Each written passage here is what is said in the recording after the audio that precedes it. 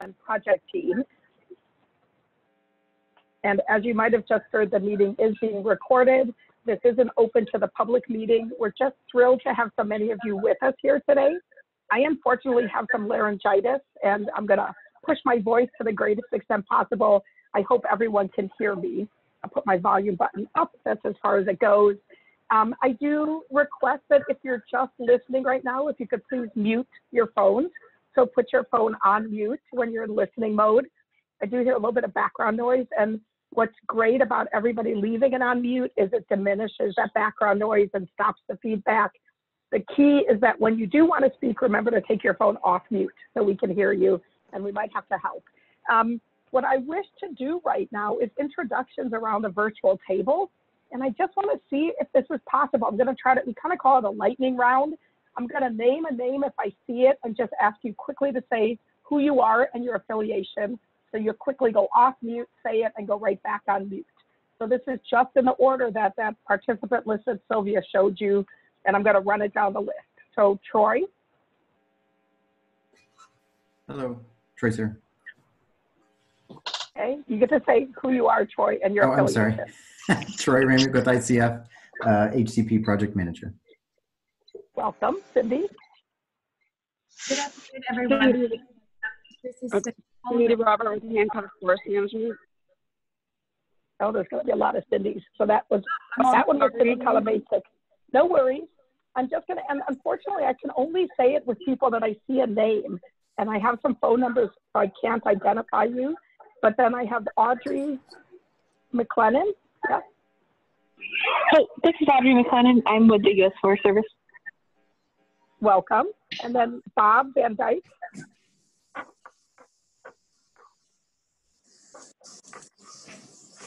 If you're here, he might be on mute. I might have to just try to run through this list to see if it doesn't quite work to be able to let people introduce themselves. Um, and the list is rearranging itself a little bit as I'm going. Uh, there's a person named Kramer, if you want to introduce yourself. Just went back on mute though. Okay. Uh, Alex is here with ODF. Yep, Alex with ODF. I'm helping out in uh, state lands. Great. And Becca, do you want to introduce yourself? Hi, I'm from Representative Marty Wilde's office. Welcome, Becca. Brad Pfeiffer. Yeah, uh, Brad Pfeiffer with Hampton Lumber. There's somebody named Pam, if you want to introduce yourself.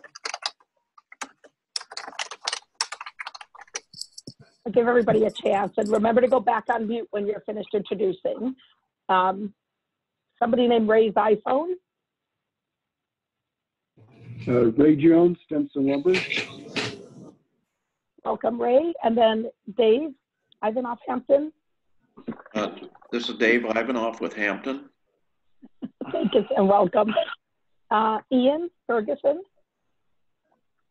Ian Ferguson, Northwest Steelheaders. Welcome. Jim Muck. Hi, this is Jim Muck from NOAA Fisheries. I'm out of Roseburg, Oregon with the Oregon Coast Branch. Welcome. Unfortunately, my list keeps rearranging as I'm going through the introduction, so I'm sorry if I call on you twice. Um, there's a, a Joe, and the name just moved. Here you are. Kirk Yeah, Joe Kirkfleet, Joe Kirkfleet with uh, Blueback South Grove Trout Unlimited. Welcome. Thank you for being here. Um, who else? Julie Furman. This is Julie Furman from the Oregon Department of Fish and Wildlife. Welcome. Kathleen Sullivan. Hi, this is Kathleen Sullivan, um, Clatsop County Commissioner. Thank you.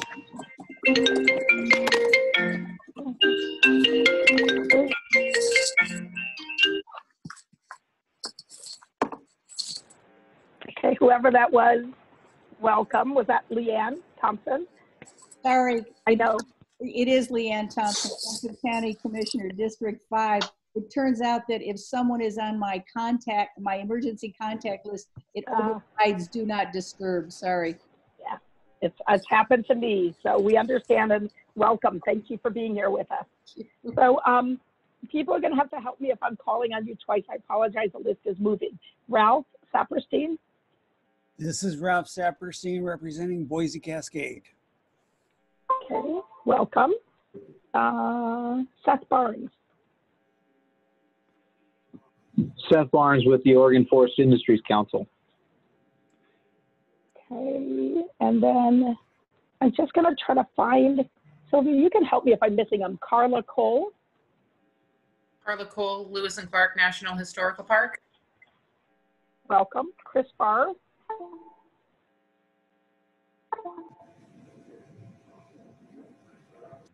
okay, Chris Conrad, Zo- I'm sorry, Oh, Chris, so- Chris Farrar, uh, Clatsop Soil and Water Conservation District. Okay. Welcome, Chris. Um, I may have to at some point, if, so Sylvia, I'm having a little trouble because when people join, the list keeps moving. And I'm going to try to find a few Sure. more. This is an awesome list, and I hope you can all see it on the left or right, wherever you open up your screen. How about Cindy Robert? Hi, Cindy Robert, Hancock Forest Management. Okay, thank you for being here. Helena Lino,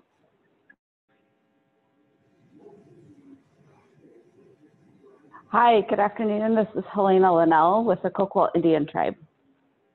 awesome. Thank you for being with us. And Mike Clausey, Good afternoon, everyone. Mike Cloughesy, Oregon Forest Resources Institute. thank you for joining us. Uh, Rich Lump, Hi, it's uh, Rich Szlemp, U.S. Fish and Wildlife Service. thank you. Ryan Singleton, Uh, Ryan Singleton, Department of State Lands. Rod Krahmer, Yes, Rod Krahmer, Oregon Department of Fish and Wildlife. Ralph Saperstein, This is still Ralph Saperstein representing Boise Cascade. See, I did think I'd called on you already. Good job for recognizing that. How about Paul Henson? Yeah, this is Paul Henson, U.S. Fish and Wildlife Service. All right, Great to have you. Thank you. How about Paul Lele? Paul Lule, Hampton Lumber. Okay, I'm going to try a few more here. Nancy Ferber, did I call on you? No, not yet. I'm Nancy Ferber. I'm with the Columbia River Estuary Study Task Force. All right, great to have you with us. And Nadia Gardner?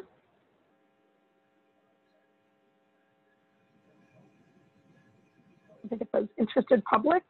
So Nadia, thank you for being here. I'm going to try a couple more. Mike Buffo, Hi, Mike Buffo, Washington Department of Natural Resources. Hey, Mark Rasmussen, Hi, this is Mark. I'm with Mason, Bruce, and Girard. okay, great. Uh, Sylvia, can you help me first back? I feel like I should let Yeah. us get going. It's a really awesome list, and yes, We have a few folks with their hands up, so I'll just go Cindy and then Daniel Stark and then someone that's TMS Bond. Thank you, Sylvia. This is Cindy Kolomachuk with ODF. And Sylvia, I think because you're labeled the host, I do not see you as an option to chat with you. So perhaps we assign that to Michelle because I do see her name. Good idea. Thank you for that, Cindy. Okay. All right, and Daniel, Daniel Stark, go ahead. Excuse I just wanted- Hi, everyone. I just want to introduce myself. This is Dan Stark. I'm from Oregon State Extension, Forestry and Natural Resources, and um, I serve Clatsop, Tillamook, and Lincoln counties. Thank you, welcome. And TMF 505 Bond, do you want to Yeah, introduce yourself? that's me, Bond Starker, Starker Forests. And Dan Edge, Hi, yeah, this is Dan Edge from Oregon State University. Just wanted to introduce myself. Thank you. great. Thank you so much. So I think for purposes of time, I just want to say this is an amazing list of participants, well-rounded, well-represented, and we can't thank you enough for being here. Um, and so what I'd like to do is, if I live, Dent, if I could please hand it over to you for an official welcome from the agency. Yeah, great. Thank you, Deb. And thank you, everyone, for being here or joining us today. Hopefully, the audio is working. So I'll carry on as though it is. We hear Um, you. Go forth. Okay, great. so yeah, really appreciate everyone's willingness uh, to invest your thinking and energy at a time when your attentions are most certainly being pulled in multiple directions. So uh, I thank you and the agency thanks you. Um, our whole team really appreciates you being here. These are obviously unprecedented circumstances with COVID-19. Um, our agency is engaged at multiple levels with the issue, um, in part as an emergency response organization. Um, so uh, we're dialed in um, in this uh, emergency in, in, many different ways. Um, we are adjusting how we do business with the direction for social distancing. So as you can tell, we're holding this meeting today as a Zoom slash webinar uh, meeting. And then uh, we have our employees all working remotely um, to ensure safety and wellness. Um, along those same lines, the Board of Forestry meeting that's being held on uh, April 22nd is also going to be a remote meeting. Uh, more information to come out on that if you all are accustomed to attending those meetings. Um, we are committed to keeping the public engagement process um, a meaningful one. And so, uh, again, appreciate everyone kind of bearing with us while we try out this format. It's a lot of really important work to be done, not only by our division, but the agency as a whole on policy work with the board. And public engagement is just really critical to that. Um, so here we are in sort of the sort of some uncharted territory in uh, assuring that that's still a part of our public process. So again, thank you very much for being here. Um, so the purpose of today is to share the recent developments in the in our pursuit of a habitat conservation plan for our state forest lands that are west of the um, Cascades, our Western Oregon Habitat Conservation Plan. As uh, some of you may be aware, we've also been working in a parallel path on a draft uh, forest management plan for the same spatial scale there uh, west of the Cascades. Um, if we were to move forward with that plan, it would be implemented without an HCP. We've completed a draft of that plan and it is now, uh, it's going to be on the consent agenda for the April Board of Forestry meeting. And what that does is simply put the draft plan and some accompanying materials on the record uh, for the board and for the public. And we're just that's simply the goal, just to put it on the record for discussion at a future point. A lot of really great work went into that.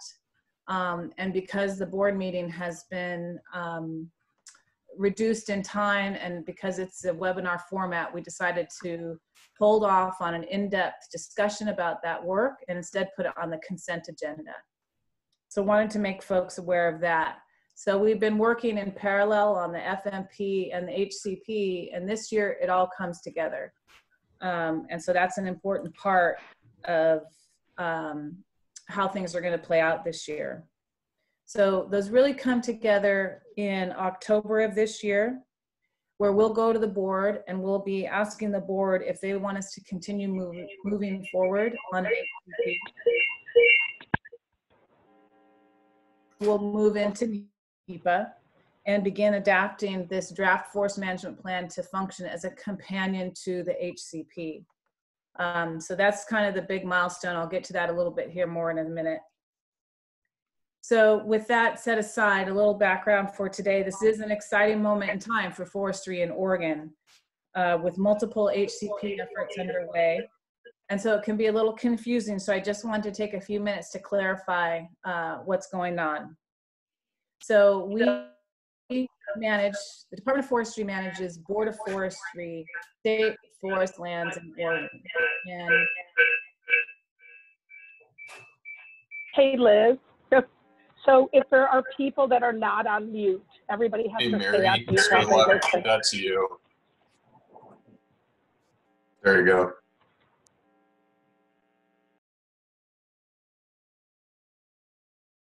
Sylvia, this is Cindy Kolomachuk. If you control mute, we cannot hear you.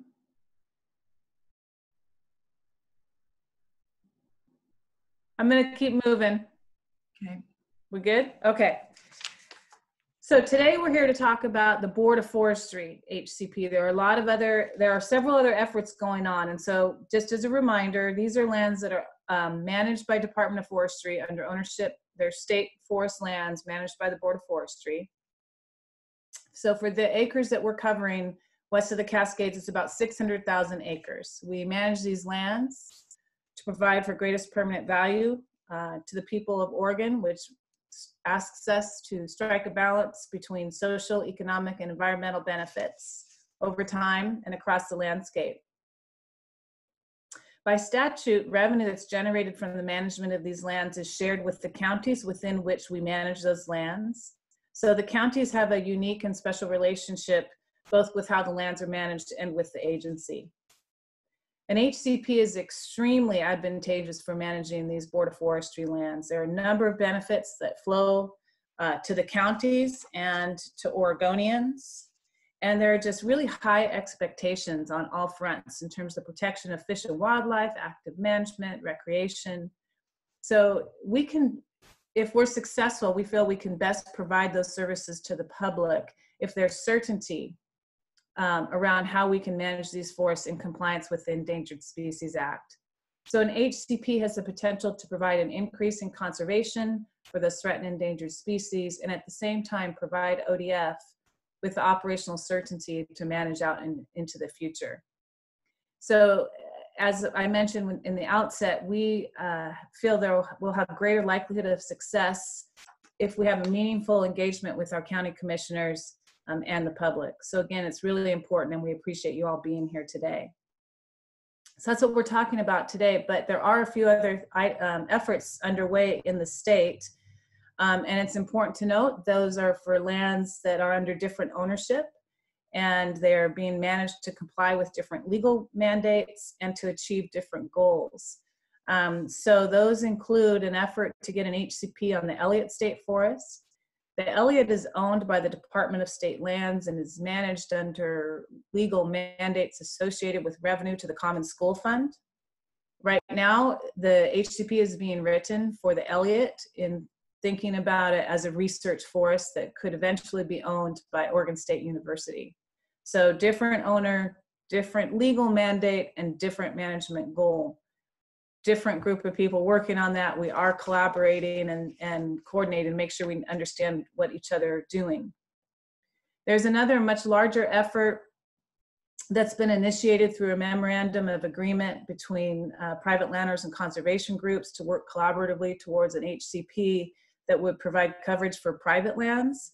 That is um, some neat work that came together um, towards the end of um, the short session here, and there's some leadership here um, in this meeting that have been part and parcel of making that happen. Really exciting time there. Again, the State Forest Division group we're working on our HCP here today um, is is not uh, providing the leadership on that effort.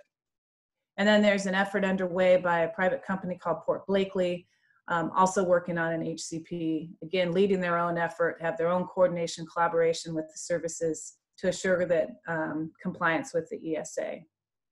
So the best possible outcome in my perspective is if all of these were to be successful in the state of Oregon, we would see both an uplift in conservation as well as operational certainty over such a large uh, percentage of the forest lands in Oregon. So it really is an um, exciting moment in time. I'll just say a few more words and then I'll turn it back over. Um, so again, today we're here to discuss the Western Oregon um, State Forest Habitat Conservation Plan for our Board of Forestry lands. This was uh, always set up as a three-phased approach and uh, the first phase uh, really kicked into gear in April of 2018 when we received some grant funds to begin our work. Um, and the intent of phase one was to conduct a business case that could help the Board of Forestry decide if they thought it was in the best interest of the state of Oregon to pursue an HCP. And so we went to them with that business case in November of 2018, and indeed they did um, direct us to continue our work and move into phase two. And so we're in phase two right now, and our task here is to draft a habitat conservation plan, an administrative draft of a habitat conservation plan. And uh, that's the update you're going to be getting here today. Uh, the that would come together in October, at which time we'd be asking the board if they want us to go into phase three. And phase three would direct us to move into the NEPA process.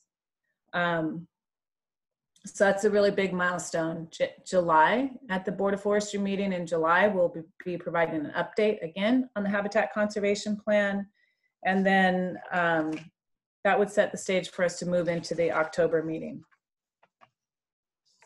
In order for the board to make that decision in October, we're going to be providing them with an, a very, with a comparative analysis so that they can sort of weigh out the pros and cons of moving forward and managing these lands with an HCP or without an HCP. And if they determined indeed move forward with an HCP, we would bring that draft forest management plan that has been on the side burner since this April board meeting back into the fold and begin to adapt it to be a companion FMP.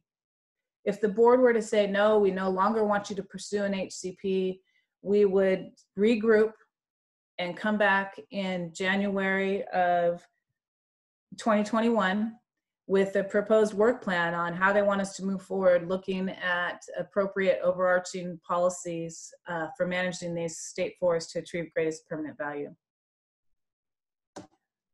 So those were the comments I was going to make this fine afternoon, and I appreciate everyone being here. Thank you.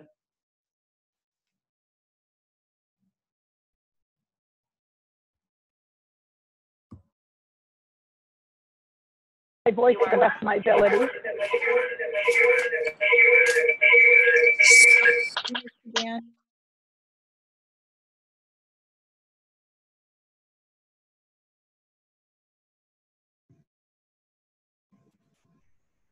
Uh, I'm, I'm afraid to take it off mute because it was such a horrible noise.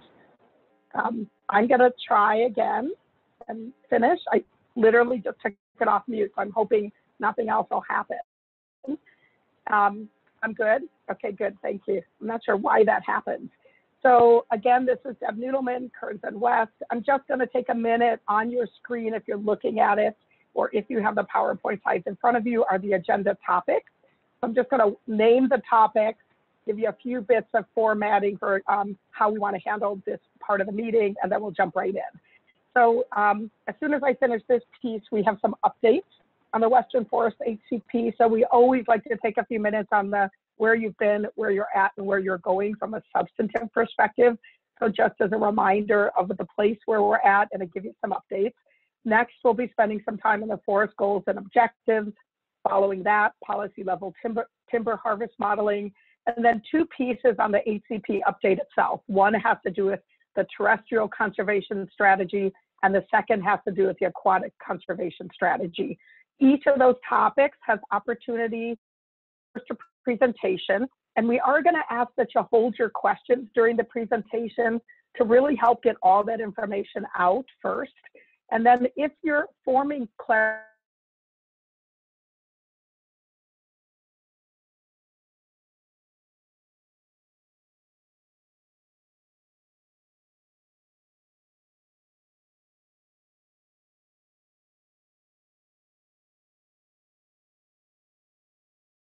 a little bit of back and forthing. And as importantly, we just want to mention the fact that in this meeting format, for those of you that have attended before, you know about this. If you haven't, here's how it works. The formal meeting that's open to the public right now is from 1 till 3. It includes presentations, clarifying questions, and a little bit of discussion on each of these big topics. And then we have another hour after we finish the summary and next steps where it says number seven, additional discussion time and that's from 3 to 4 p.m. And the way we'd like to handle this is as we're going through each of these topics, we know we're going to run out of time and we're not going to have a chance to do a deeper dive. So the additional discussion time allows for that opportunity for more discussion on specific topics, the potential for you to help engage a little more deeply on topics that are of interest to you. And we're going to save that hour at the end. And Sylvia is going to be listening and keeping a running list of the potential topics for discussion in that 3 to 4 p.m. timeframe. If you'd only prefer to stay from 1 till 3, that's totally fine. If you have an interest in staying from 3 to 4, we'd love to have you join for that piece. And again, if you'd ever been in the room when that happened at these other open to the public meetings, it was even informal. You could kind of walk around, talk to different people. Here, we're going to have to keep it a little more structured on this virtual meeting format, but we're really excited about having this full time frame to engage with you. Um, the last opportunity is that if for whatever reason you don't want to verbally participate during this meeting, please note that you can also submit um, comments through email to Jason Cox. And his email address is somewhere here, but it's jason.r.cox. Oh, Sylvia showed it. That's right. There it is, right at the remote participation at oregon.gov. Thanks so much for that. And we'd be glad to have you. Please feel free to submit any other comments by email directly to Jason on behalf of the process. So I think that's it. And Troy, I think we're just ready to jump right in. I'm going to go on mute now. Thank you. Okay, great. Thanks, Deb. Um, hi, everyone. This is Troy Rahmig with ICF, and um, I am the project manager for the, the Habitat Conservation Planning Team. Uh, all of the technical work that goes into the development of the HCP, and you're going to hear about quite a bit of that today. Uh, I'm going to start with just a, a program update, uh, and I'm going to keep this relatively brief because we are most of what I'm going to tell you in the update. We're going to actually go deeper on that um, in, the, in the next hour or so. Um, but I understand also that um, for some of you, this might be the first time that you are um, interacting with the process or, or, becoming aware of the process. So uh, just a couple of key features of the HCP that I think are important um, for everyone's understanding. So first of all, um, where does the HCP apply? So we mentioned that this is a habitat conservation plan. Um, it is going to support uh, permit applications under the Endangered Species Act to both the uh, U.S. Fish and Wildlife Service and um, National Marine Fisheries Service, and therefore it that those permits will apply to a specific geographical area, and um, that area is uh, referred to as the permit area uh, in the sort of lexicon of habitat conservation planning work. And the permit area is going to cover all of uh, Oregon Department of Forestry managed lands. I'll show you a, a picture of what that looks like in a second. Uh, that includes uh, all uh, Board of Forestry lands, as Liz mentioned at the top. It also includes some common school lands, not all, and I'll explain why when I show you the, the picture. Um, it also contemplates places where uh, land uh, land ownership might change in the future. So there could be land transfers, as you know, there could be land acquisitions uh, by the state. And so we, we know that land ownership is, is mostly static, but not completely static over time. And we're talking about uh, a permit term of potentially uh, around 70 years. So a lot can have, happen in 70 years. So we have to also think about the potential uh, need to cover lands that are not currently under state ownership. Uh, as a result, we have created uh, what we are calling the plan area. And I know this is hard to see on your screen, so my apologies. But this is basically um, the permit area of our habitat conservation plan. Everything you see in blue here is um, Oregon Department of Forestry managed lands. And then it's a little hard to see, but there are some little pink patches um, scattered throughout. Those are uh, common school lands, uh, common school lands that are of course owned by Department of State lands, but currently managed by uh, um, Oregon Department of Forestry. Um, notably, you'll see, as, as Liz mentioned, the other HCP efforts going on in the state. One is with the Elliott uh, State Forest, and um, this is where the Elliott State Forest is. The common school lands that are uh, within the Elliott State Forest are not shown on this map because they are not covered by this HCP. They would be covered by um, Department of State Lands HCP that is underway. So that's the, the one nuance to, to the overall scheme. Uh, and that basically uh, shows you the, the permit area and the plan area. Now, in some cases, it's a little easier to see where you have more of a checkerboard um, or Oregon Department of Forestry ownership. This is the places where you might expect in the future some um, land transfers to occur. And so we have included that plan area, the purple line, again, I apologize for the scale, but the purple line around some of those areas uh, to accommodate potential land transfers in the future. So um, that's the that's the difference between the permit area, which is mostly the blue, and the plan area, which is the little thin line, the purple line that you see around the permit area. So that's where the permits would apply. And then the other important thing to remember is that um, we are getting from those two federal agencies, and they are for specific species. And this is the list of species here. Um, 16 uh, total. Um, nine of those species are fish, which you can see. I won't read them, but you can see them. uh, and then three salamander species, the spotted owl, the marbled murrelet, red tree vole, and coastal marten. Um, for folks, uh, I'll, I'll be better about this going forward, but for folks that are maybe just following along on the, on the, uh, the presentation that we sent in now. So sorry about that. Um, one important thing to note here, and you'll see it in the foot, is that most of the species that we're covering are currently listed under the Endangered Species Act, but not all of them. We do have the ability to cover species that we think are going to become listed during the permit term. And we're doing that with a few like red tree vole and coastal marten and this as examples. So um, those species are not currently listed, but we expect that they will be um, yeah, sometime in the future. So what have we been up to uh, lately? Um, you're going to hear a lot about this next or in, in the coming um, hour or so, but um, just to give you a little bit of a primer of that, um, as before, have been working with um, the scoping team on the sort of the technical elements of the habitat conservation plan.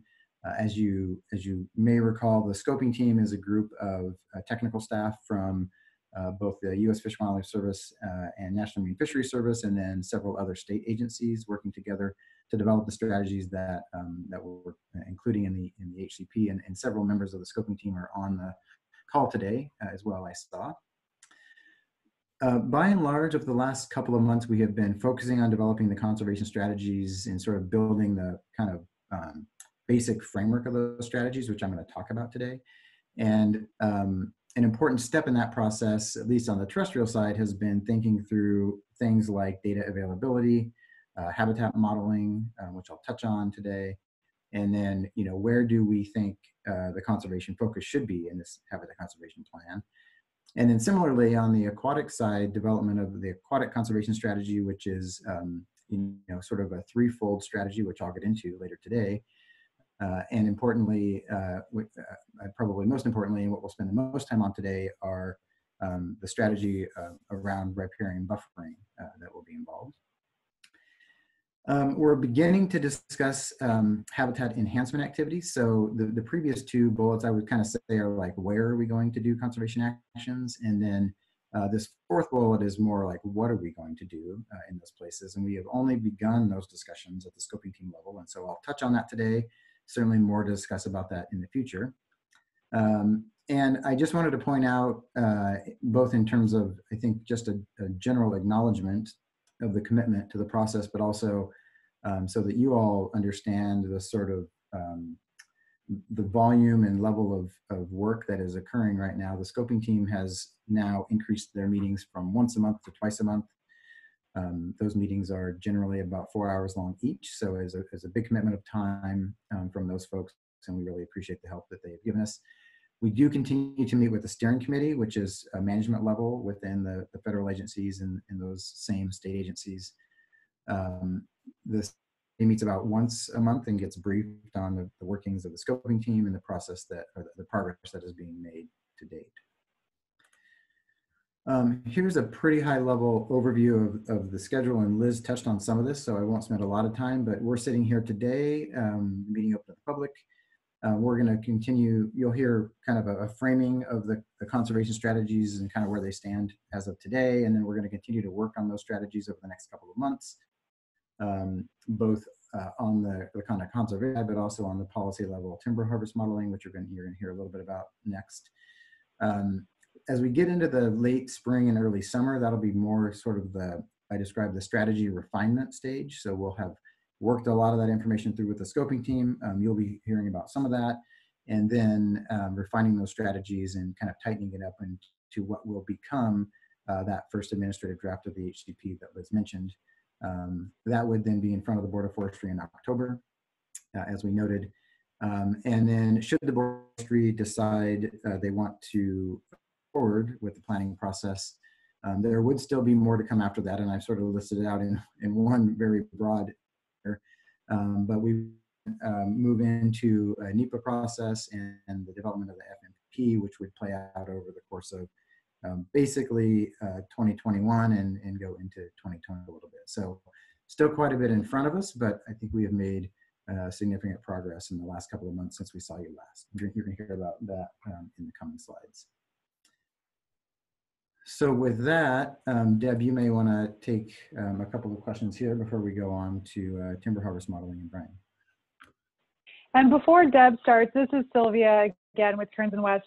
I just want to say we're trying to manage this queue, and so we have everybody on mute now. So if you do have, if you raise your hand, that's the best way for us to find out if you want to speak. And it may take me a second to put you off mute. So just be be patient. We're um, so just know that there may be a bit of a lag, but we'll get you off mute when we can to reduce feedback. Thanks. What about me, Sylvia? Do I have to, can you hear me? Yeah. You can? Okay. I can hear you. Okay, I don't have to raise my hand. I was just trying to check. Um, so I'm trying to see, I don't see actually any hands raised, Troy. And we can check, I guess, if there's somebody that um, wished they could speak, they could try to go off mute, although it sounds like Sylvia, you're managing it. Um, Yeah, I Okay, think I'm just gonna, probably okay, I'm just gonna give it one more look.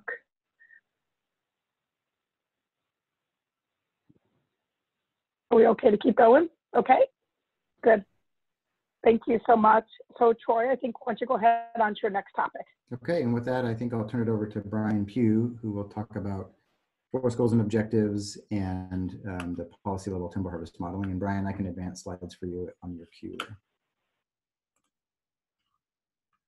Great. Thanks, Troy. Welcome, everybody. Thank you for being here and uh, working through this with us. And Troy, can you give me a thumbs up if you can hear me okay? I can hear you fine, yep. Okay, perfect.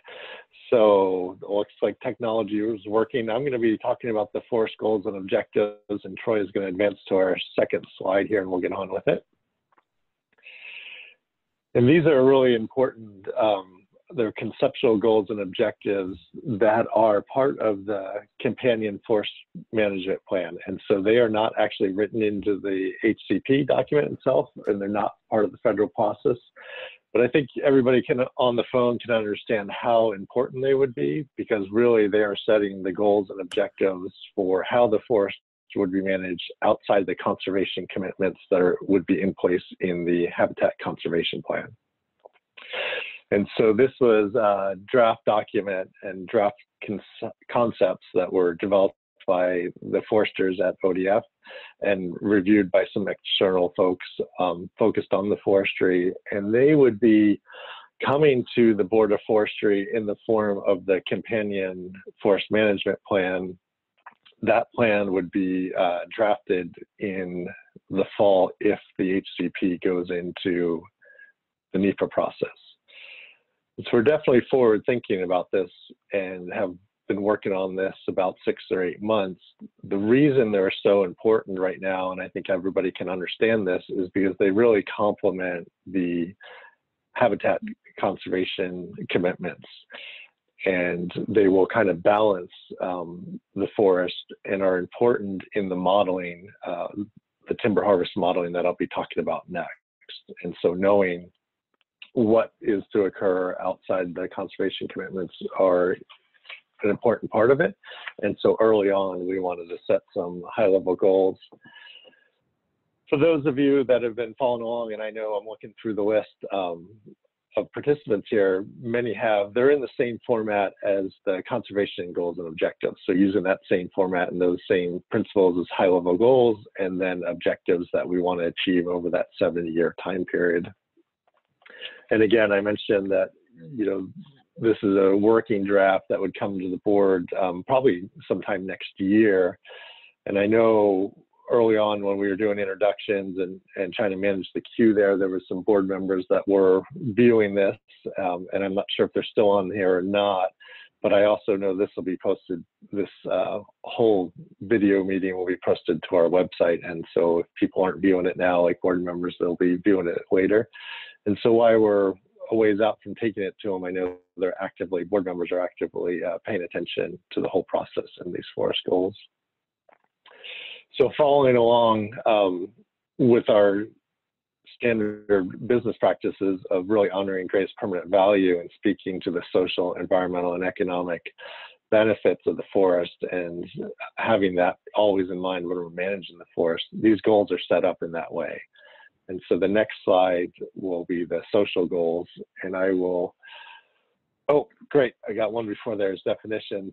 I will walk through there. One comment on the definitions that I mentioned a minute ago that I know a lot of people are following along with the conservation goals, and here we've got the forest goals we're using the same words. And the reason we thought the project team thought it was important to put the definitions up is to highlight that they're slightly different. Um, because in the conservation goals, they speak more to the species and to the habitat of the species. These goals are a little bit broader. Um, so if you're reading them, just know that the, the definitions are more holistic in the sense of forest management and forest wide. And we really struggled and tried not to do that, but the, at the end of the day, we realized we had to fine tune the definitions. Um, so that's why we've got them up there. I'm going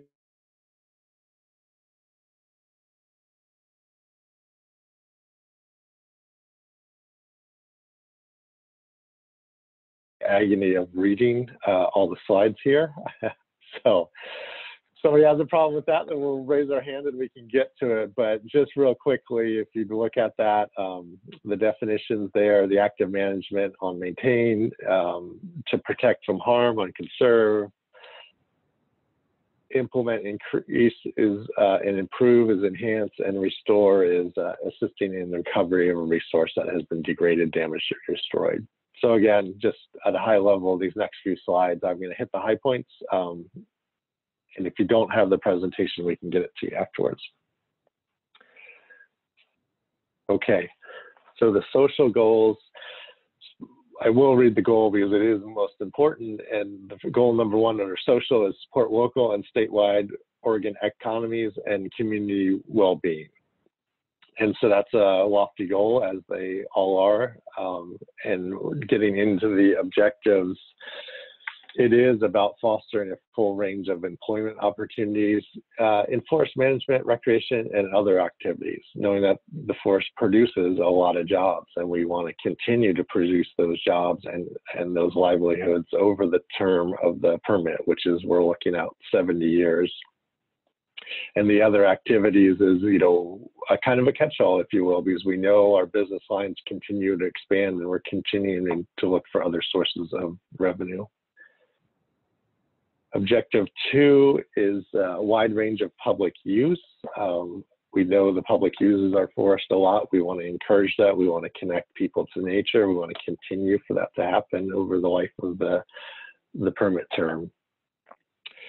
Going down to objective number three, it's provided diversity of for, forest recreation, education, and interpretive opportunities you know, when we talk about um, broader recreational opportunities and education opportunities, we know we are not uh, uh, Oregon Parks and Rec, and we're not trying to be that. We have a unique niche, um, if you will, that we can provide services on the forest and recreational opportunities that other public lands um, or other places can't, and we want to continue to do that. And then objective four, um, and I should point out that these are not listed in priority order. Um, that's a really important point that they're put up there just all inclusive and not in priority order. Um, but objective four is supporting the ecosystem services, including clean air, clean water, and net carbon sequestration and live trees. And so we know we got a lot of benefits um, from the forest. Some are monetary, excuse me. Some are monetized and some are not, but a healthy environment is a really important thing that the forest uh, provides. So with that, that's a good way to transition into the next slide, which is the environmental piece of it. There's eight um, objectives here, and the one, and they support the main goal. Um, so goal two under the environment is maintain enhance or restore the health of Western Oregon State Forest, thereby promoting sustainable, productive, and resilient forest ecosystems. We think about that goal, there is a lot there, and it's over a long time period. And that's really important to remember when we're thinking, you know, today, tomorrow, 50, 70 years out. um, about the productivity and the resilience of the ecosystem in a changing climate. And so to address that goal or to try to work to achieve that goal, we set um, several objectives. Uh, there's eight on this one. On the first one, it speaks to managing for a healthy and sustainable forest in the uncertainty of global climate change. In objective two, it really is trying to get at the net carbon sequestration in live trees over the life of the, uh, the forest plan or the permit term if you're thinking in HCP terms today. Objective three really is um, thinking about that healthy forest over the long term. And when we think about healthy forests, we want to minimize negative impacts of uh, insects and disease, fire, extreme weather events, and other environmental factors um, by increasing the resiliency across the landscape. Objective four is biological diversity of native vegetation across the landscape. And again, thinking about the 650,000 acres west of the Cascades from Astoria all the way down to the California border, we have a lot of diversity uh, on the geography and we want to maintain that dropping down to five, um, structural complexity, tree size, diversity at the stand level, and then across the landscape. And so we know we are not going to achieve that um, diversity in every stand, but we want to achieve it definitely across the landscape and where possible at the stand level. So it's a combination of both kind of micro scale and macro scale in this planning effort. Objective six um, really speaks to the long-term productivity of soil, and we know how important that is. Um, we've learned that every day when we think about the Tillamook burn and the damage to the soils there, and so we know that's an important factor having long-term success in management of these forests. Along with uh, object, objective seven, which is um, restore native wildlife habitats, and again, that is, of course, an element of the HCP development and the species, the 15 species that we're working towards, but it's also more broader for the other species um, of wildlife that are users of the forest, um, from big game to songbirds and everything in between. Number eight, um, definitely speaks to the properly functioning aquatic systems and recognizing that we have to enhance or conserve those um, to make them healthy over the long term. So that's the environmental piece, and I'd say by far the most objectives. And with that, we'll take uh, turn the slide to the last one, which is the economics. So on the economics, um, the main the goal for the economics the one goal is ensure sustainable and predictable revenue across the western oregon forest permit over the term of the permit. And so across the area over the whole um, permit term. Looking through these again number one speaks to the state forest financial viability, and we know the financial viability of the division is um, paramount to be able to implement the plan and manage Oregon State Forest.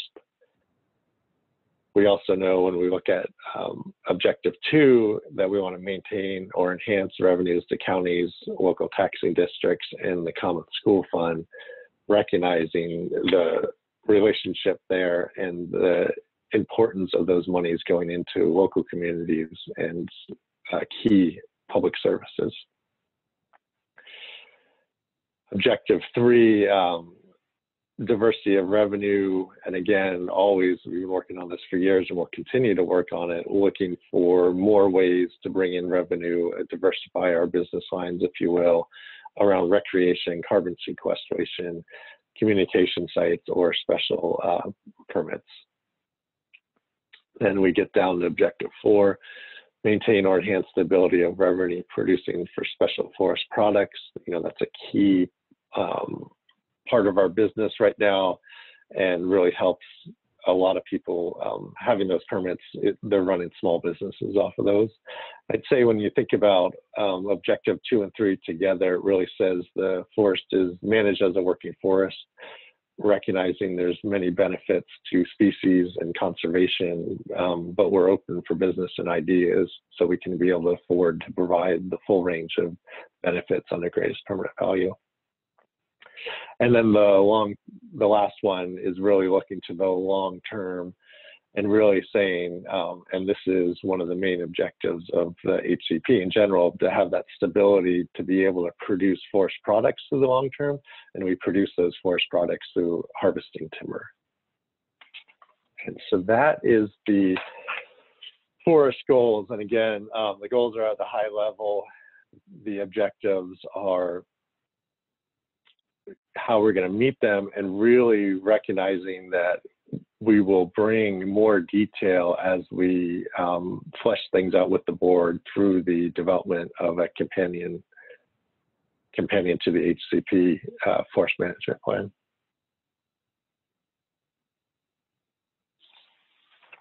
Thank you so much, Brian. I just want to check. This is Deb Nudelman, Kearns and West, to see if we have any questions, any clarifying questions to Brian or ODF at this point about the forest goals and objectives. Sylvia, help me, but I don't see hands raised. So I think I'm going to keep going. I think, Troy, you've got another piece to help finish up with this on the timber modeling. Yep, Brian has one, uh, one more set of slides, yep. And Oh, and sorry, Brian, there yeah. is one hand up now from Leanne Okay. Thompson. Hi, Leanne. Sure, go ahead. Thank you. Um, I'm really interested in this diversity of revenue generation. It, that's important. I wonder if you're um, partnering with Business Oregon in order to investigate those possibilities on an actual rather than a theoretical basis. Yeah, Leanne, this is Brian. I'll answer that question. And so um, we are always looking and working with other um, businesses and entities to try to find opportunities that fit within our current management plan and the current structure of greatest permanent value. So right now, I'd say all our policy work and our business improvement work is focused on the, revising the forest management plan and developing the HCP the habitat conservation plan, all our resources are, you know, over over uh, allocated onto that. So we are not looking for those other opportunities.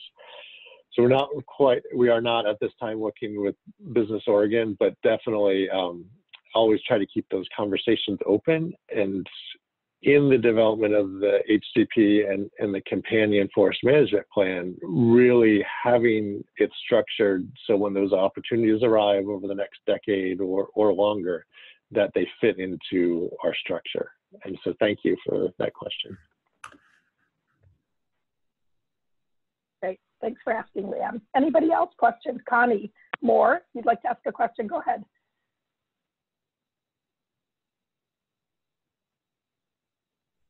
Connie, are you off mute though before you ask your question? There you go. Okay.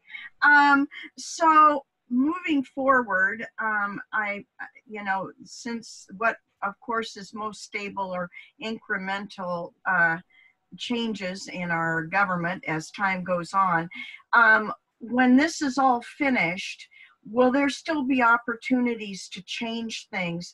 One of the one of the key pieces that I really am bothered by is the fact that the schools and the local communities have to depend on timber revenues for some of their funding. And i think we need to get away from that i don't know that that can happen in the short term are there things that can be done through the legislature to change the, this kind of funding goal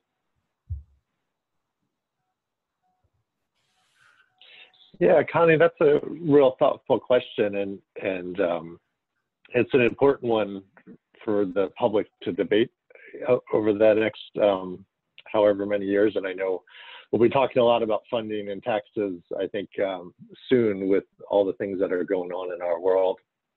As far as the development of the HCP and the and the management of the forest um, under greatest permanent value, it is set up up to generate revenue that go to local uh, communities, counties, and communities and local taxing districts. And so in this structure, that is honored and will happen as to exactly what local taxing districts and what you know community uh, entities it goes to, whether it's schools or police or um, transportation or county government in general, that is a uh, debate for the legislature, as you characterized it, and can occur and would not change um, dramatically the way the forest is managed or the way the habitat conservation plan is implemented. So after the plan is implemented, the legislature, so if we wanted to fund schools and local communities in a different way other than timber harvest, um, you're saying that once the plan's in place, the legislature can't uh, alter that? No, I'm sorry. It, I know it's hard um, not being in the same room with you, and, and I wish we were, but no, I'm saying that they do have the authority and they can alter it. All the legislature can change the funding after an HCP would be developed and approved, and so they still and always will have that authority, and they could okay. Okay. do that. Okay, that that uh, that gives me more hope. Uh, I, I just, uh, I guess if, if it hasn't become clear, I do not see timber harvesting as a sustainable way to support our communities.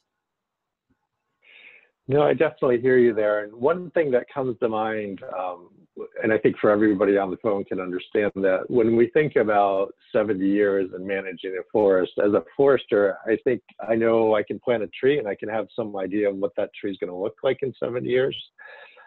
Um, but as a government, uh, you know, the deputy of the state forest division, I don't know the business and the political changes that are going to happen, and I don't pretend to be able to predict those. And so when we sat and down as a team and the scoping team with lots of input from many smart folks and thought about the 70 year life of the permit term, we really did broad goals. And as you saw, I walked through three goals, um, and they're really broad, and it's trying to have the breadth and depth and flexibility over seven years to be able to accommodate changes from the legislature or from the public or from local government and and uh, still be able to be successful and sustainable. Okay, that, thank, thank you. you. very much. Yes, and thank you, Connie, for speaking up. So, um, so I think for purposes of time, Brian, I'm going to move us along. I think you have a little more to do here in this section. I do. I'm going to talk Troy. about the timber harvesting model. Yep. Yep. Okay. And so I'll get Troy to click ahead on the slide and, and a little look um, behind the screen on how we're doing our modeling. And this will set Troy up for some later talks too. But really on our timber harvesting modeling, at this level, we're using the term, um, it's really to support decision making and be informed the Board of Forestry and ODF leadership as to the outcomes of the possibilities. Um, so it's high level modeling and it is being done through ICF and it's linear program approach to maximize net present value. And so it is a 100 year time horizon that we're modeling. And really, we've been talking about a 70 year permit term, and, and that is true, but really running the modeling out past that uh, 70 years and seeing um, what the force would look like, even past the HCP. So getting your head around that, that we're modeling out 100 years. And of course, with any modeling, um, the further out you go, the more variability there is with it.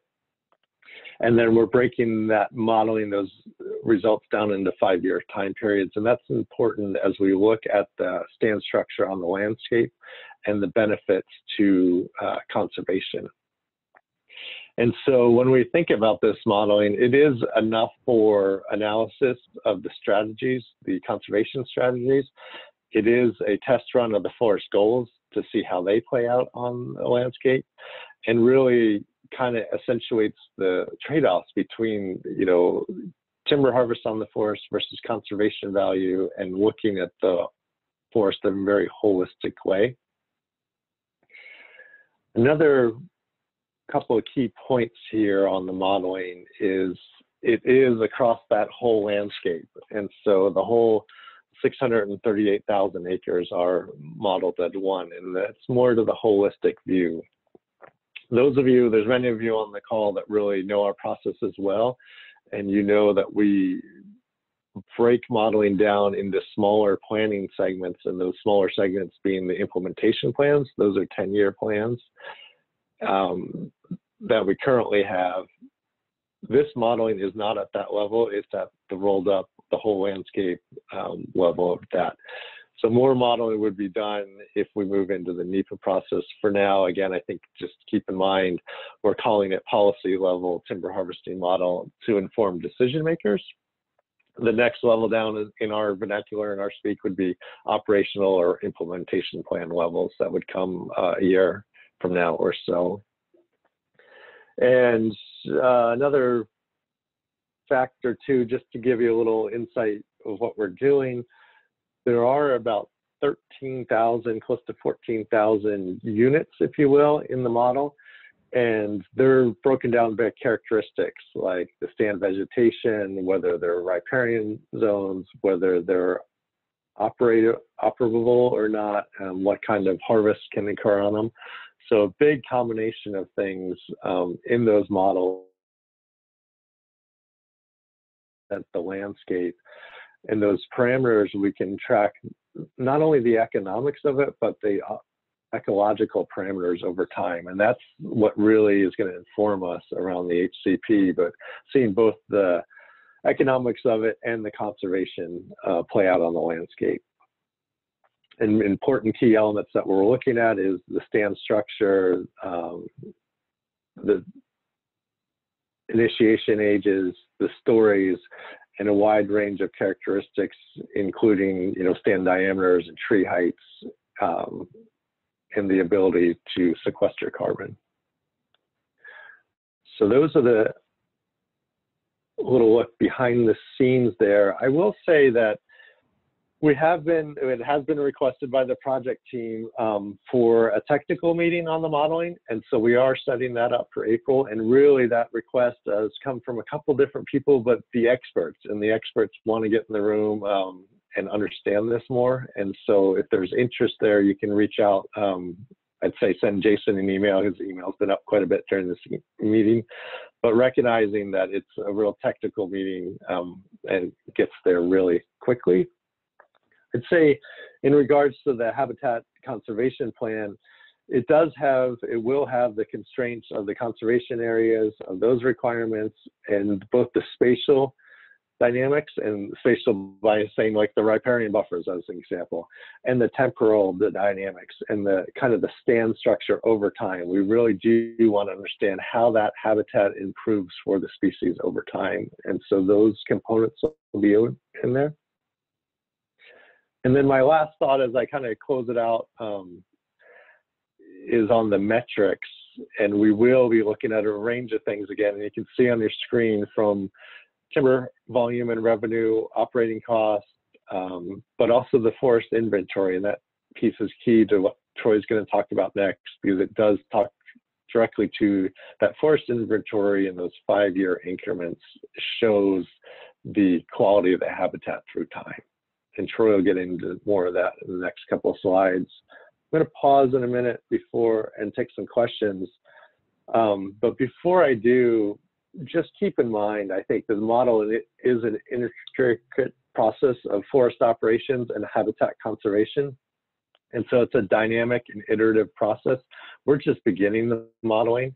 And so it's going to take several months of a feedback loop between um, the linear programming, the foresters in the field, the wildlife biologists, the whole uh, scoping team looking at that. And so there is several feedback loops there that we will adjust the models and adjust the parameters based on um, the development of the conservation strategies and the economic needs um, to be able to achieve the, the goals. So with that, I'm going to pause there and look back to Deb to facilitate some questions. Okay. Thank you, Brian. Really helpful information. So I've got a couple hands up and we'll take these questions. Craig Patterson, you were up first, and then Dave Ivanoff afterwards. Yes, thank you. Um, what is the age class percentage of those lands that you speak of? And also, what is the variation in elevation, just out of curiosity?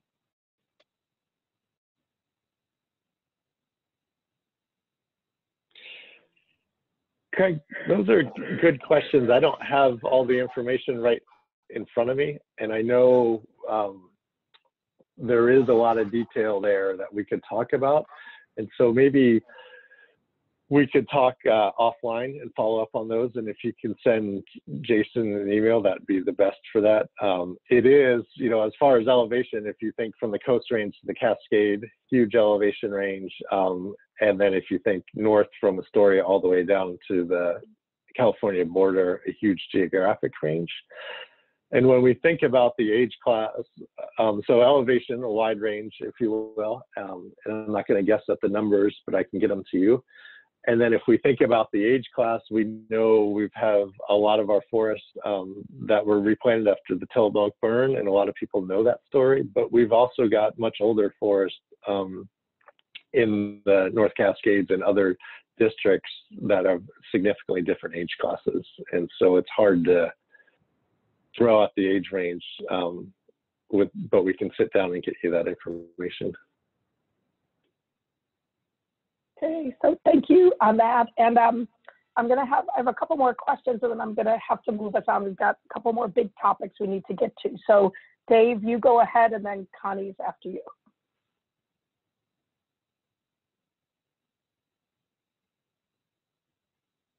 Got to go off mute, Dave.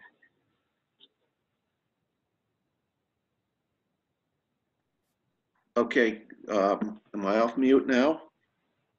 You are, go Yeah, ahead. you sure are. Okay, thank you. Uh, Brian, could you help me understand uh, the timing um, of the development of the terrestrial and aquatic strategies and how and when they will be incorporated into the modeling work? You may have covered that and I might have missed it, but, uh, but it seems like those strategies have to be developed before the modeling can actually start. Is that correct or am I missing something? Yeah, Dave, thanks for the question. And, and I know you've been following this for a long time, so you know exactly what's going on. So in the next couple of slides, Troy's going to be speaking to that. Okay. And um, a, a simple answer would be yes, we don't have those fully developed, and so we can't run the modeling yet, but we are pre-positioned with the modeling as when they get developed, we'll load those in and, and get going. So I'm gonna let, I won't steal Troy's thunder there. He'll talk to that in a Okay, couple thank you. But it was a nice introduction, Dave, so thanks for that. Okay, and then Connie, uh, if you want to go off mute, you have a question, go ahead. Here. Um, whoops, wait a minute. Uh, You just went back on mute, try again. Okay, there we, let's see. Oops, did you unmute me? Okay, there we go. Um, okay, so um, one thing is the, you know, there's been a lot of new science on the climate change. And um, uh, is, I just want to verify because I know that this has been just a summary on the visual.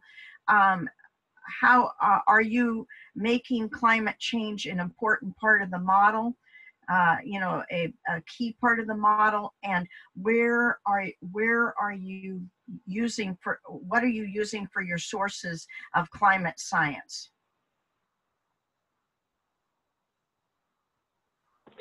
Yeah, Connie, I'll touch on that and then I'll probably transition it to Troy too. And as far as how we are addressing climate change in the model, we're really looking towards resilience. And so in the timber harvest modeling and the stand structure outputs that we're looking at, we are not factoring in climate change because there's so many unknowns, and we couldn't uh, find somebody that's currently doing that. And so the approach we are taking is definitely having a forest that is resilient um, to change and being adaptable. And so that's how we're trying to provide that certainty. I spoke a little earlier about, you know, we, we know in these models that 10, 20 years, 30 years, um, they produce really good results. And then the further out you go, the more uncertainty there are in, in any model, right? So we're dealing with that here. And we've thought about the complexities of the climate change and trying to build that into the model. There was just too much variability in there. So that was the first question. The second one, uh, part of your question, which is um, important too, is what are our sources for kind of climate change and helping us think about them and helping them adapt to it and make those strategies? Because it is in a lot of our discussions on the project team and we are looking at that um, in many different aspects. And so i'll let troy kind of explain outside the modeling how we're um, using that science and incorporate it into the development of the HCP. Okay, thank you.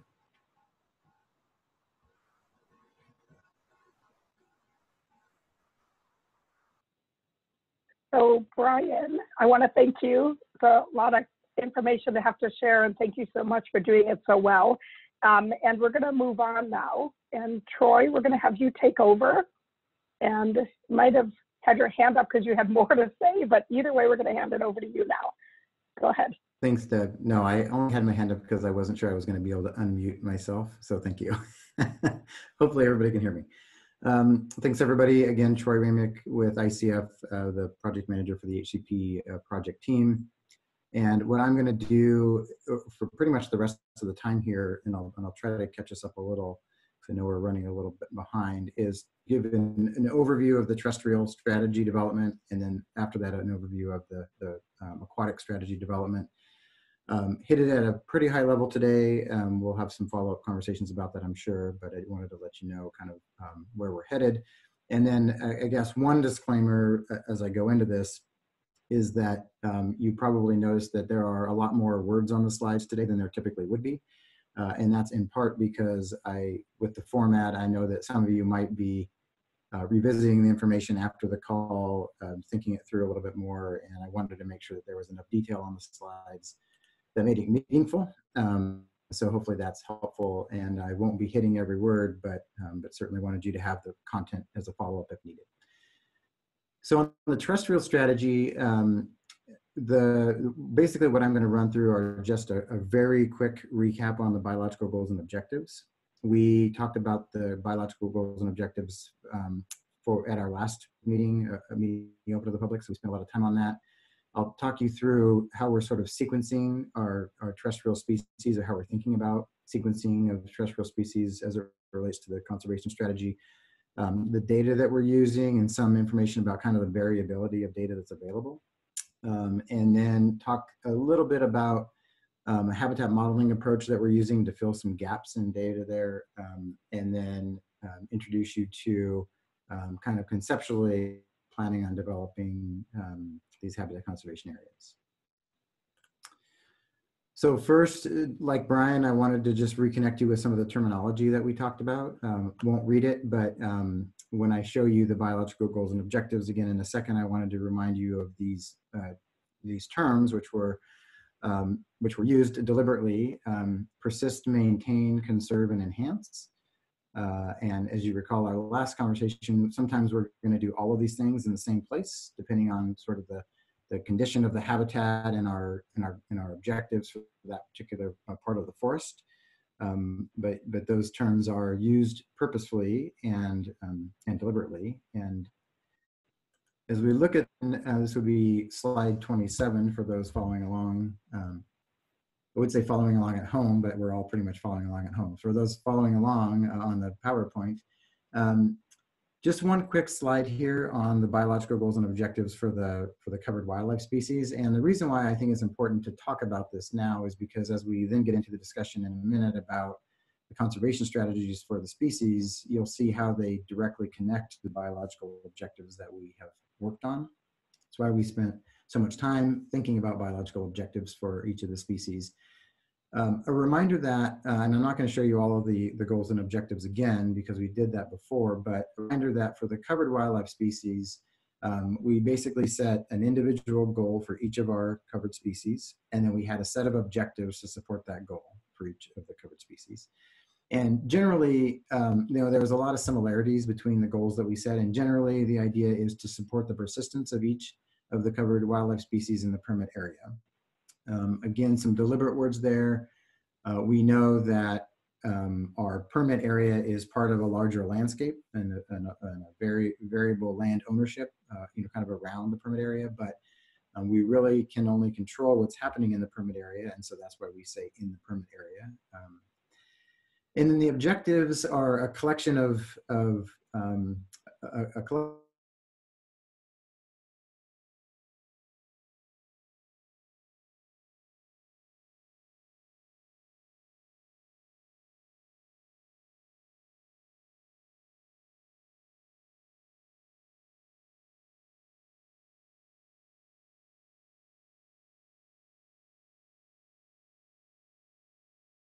that location. Um, and then sometimes we don't know if uh, if a part of the forest is occupied because um, surveys haven't been conducted. We have we don't have complete survey coverage, and so uh, we do want to conserve and conserve, maintain, and enhance suitable habitat, even in places where occupancy might not be known. But we have uh, some indications that we have um, pretty high habitat quality for the covered species, and this is where um, our habitat modeling will come in, which I'll talk about in a couple of slides. And habitat modeling is really meant only to kind of fill in the gaps in places where we don't have good survey data for our species. And then I think the most important through line on our, uh, on our biological objectives for the species is the intention to uh, increase the quality and quantity of habitat during the permit term. So we want to uh, expand where habitat is um, as compared to today and make the habitat better. Um, and I'll explain why the modeling approach that we're using um, is also important to help, helping us answer that question. So on to slide 28. Um, one thing that we've been doing as we've been thinking about the terrestrial conservation strategy is, is sort of uh, sequencing of species. And um, certainly don't want to leave any impression that we're, we're valuing one species over the other. We have to treat all species equally in the conservation plan. Um, but it will be no surprise to, to all of you that we, um, we certainly know more about some of the species and some species are, um, you know, have, a, have a, a, larger geographic footprint within the permit area. And so they just by definition become a bit more of a focus. Those two species are, are northern spotted owl and Marbled murrelet. I'll talk through the data and the modeling for those two species in a second, but it's no surprise to you that um, those would garner a little bit more of our attention, at least initially, because owls are more widely distributed. We have more data on them. Uh, Marbled murrelets are, are not as widely distributed, but we do certainly have a long survey history with that species. And so we want to first and foremost think through what are the strategies for those two species, and then uh, turn our attention to the, the remaining three, red tree vole, Oregon slender salamander, and coastal marten.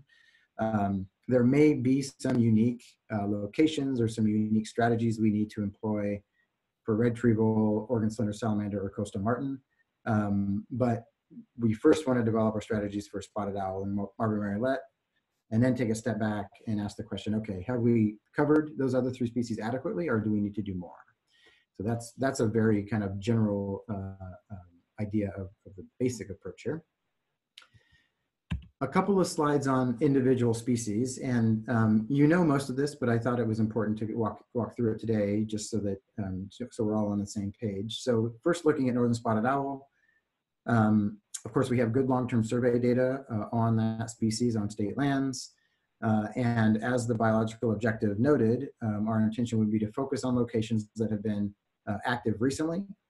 Um, so places that we know the species is currently occupying, we, we want that to be a focus. Um, we also want to focus on um, places that maybe haven't been active recently, but certainly have some history of activity in the past. And we know, particularly with spotted owls, um, they've been heavily influenced by the presence of barred owls uh, in the recent past. And so where they are today may not be indicative of, of where they, you know, where they were historically or where we would like to be in, them to be in the future. And so we are thinking both of those locations that are recently active, but also those places where there may have been a lot of activity activity in the past. Um, and then, you know, sort of just weighing and prioritizing those locations. We're certainly thinking about, um, particularly those that are haven't been active in a while. We're certainly thinking about those that are uh, near sites that are currently active um, or are in locations that are, uh, are identified for other purposes, for other covered species. Um, that would be a, a, valuable thing to sort of make sure we're getting multi-species benefits in those locations. Um, places where um, Oregon Department of Forestry has more of an influence on the landscape, so larger blocks of ownership, of course, that would be an easier thing to accommodate. Um, places that are not currently occupied, but we would like to be occupied in the future. Um, and then you know, by and large, trying to create, uh, you know, an ecologically robust conservation plan, we want to make sure that we do have good representation um, of the species range um, kind of across ODF ownership. So that's another thing we'll be looking at. Um, we're also looking at not just uh, northern spotted owl sites that are on ODF ownership, but certainly those that are pretty close nearby, um, maybe on adjacent ownership, but, but right off of state lands, because we know that state lands the way northern spotted owls use the landscape, state lands would still be uh, providing some benefit to those sites that are just off, off of state lands. And so we are looking at some adjacency here and thinking about the kind of the relative land use and performance of those sites over time. Um, and then, you know, all of this is really getting towards a situation where we're sort of prioritizing sites with the highest current and future value for spotted owls and making sure that those become our areas of conservation focus for the species. Now, the same is sort of true for Marbled murrelet. Um, we certainly have good long-term survey data. We don't have complete survey coverage for that species, of course, um, but we have pretty good long-term survey data. Uh, and in this case, we are focusing kind of first and foremost on the observation data that we have for murrelet. So thinking, of course, about uh, places where we have significant observations um, or, you know, sort of observations that are tipping us off that there might be some nesting activity nearby. Um, but also thinking about other observations that might just be um, categorized as visual or audio, um, auditory observations, um, because those, uh, of course, play a role in the overall ecology of the species. Um, and then for this species, we will start to fill in the gaps a little bit with the species uh, habitat suitability model, which I'll talk about in a minute. Um, because we don't have complete survey coverage, we want to not only pick up the areas where um, murrelets have been observed, at some point in the past, but also areas that are, are grading out as higher quality habitat on the landscape. Um, then I wanted to mention marbled murrelet management areas, that's the abbreviation there, or otherwise known as MMMAs. Um, we're certainly using those uh, marbled murrelet management areas as a guide in the work that we're doing, um, but we're not really thinking of those as an endpoint. And what I mean by that is you would imagine that as we think about these areas of conservation focus, MMMAs are, are mostly going to be inside of those areas just by definition because they um, were derived by you know observational data from murrelets, for example. Um, but we aren't using those MMMAs as sort of a, a, starting or a stopping place. They're really just a guide to inform the overall strategy. So I think that's an important point. Um, and then lastly, and importantly for this species, also thinking about desirable patch size. So, you know, bigger is always better, of course, and there's some practic practicability uh, discussions to be had around that. Um, but is there a minimum size uh, that we would want to avoid, uh, you know, calling a conservation area uh, for that species? And so we're, we're having those conversations now. And then um, through the last few species on one slide, because they're all they all have sort of similar data quality and, and availability um, uh, uh, issues, and that is that you know, for each of these, for the Oregon slender salamander, the red tree vole, and coastal marten, we have a pretty limited survey data. There certainly uh, there are survey data available for those species, um, but it's pretty limited on state lands, and so we are having to sort of infer habitat use from what we know about species occurrence in, in other places, uh, and we'll be relying in that way uh, more on habitat models for those species than we would be on just um, just occurrence data because we just simply don't have the, the, the, survey coverage that we'd like to have. So for all of these species, um, relying more heavily on habitat models than on occurrence data. Um, and probably the outlier there is coastal marten, um, which is a species that we have both uh, limited survey data on and some uh, difficulty modeling habitat for the species, um, mostly because um, most of the, or pretty much all of the survey work for that species that has been conducted and the information we have about habitat use by that species are in places where the, uh, the habitat is pretty different than what we have on our, uh, in our permit area. And so we are going to be relying more, um, more on the strategies from the other covered species, and then also relying more heavily on monitoring and adaptive management program than we might for the other species, for example. Um, later, I'm going to talk about the aquatic strategy, but just a note here that, of course, we are covering the, the Cascade torrent salamander and the Columbia torrent salamander. Those salamanders are aquatic species, so they're, they're almost always in the water. Uh, and so the, the aquatic strategy that I'll talk about in a minute uh, will fully address the needs of those species. That's our intention.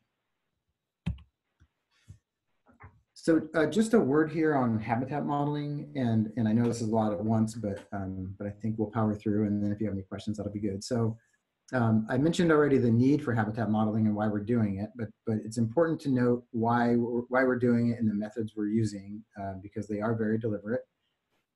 So the first thing is that we are developing habitat models for, for just four of our species, as I mentioned. So the, the owl, the murrelet, tree vole, and slender salamander. And what we're doing is um, we're looking to the literature and um, into other published uh, and using published information to learn key habitat characteristics for those species. Um, there is, uh, particularly with owls and murrelets, there has been a, a, lot of work on that on those issues. So a lot of papers um, several models published. And so we're looking to all of that information to really define the key habitat characteristics. And in many cases, that work is already in those other publications.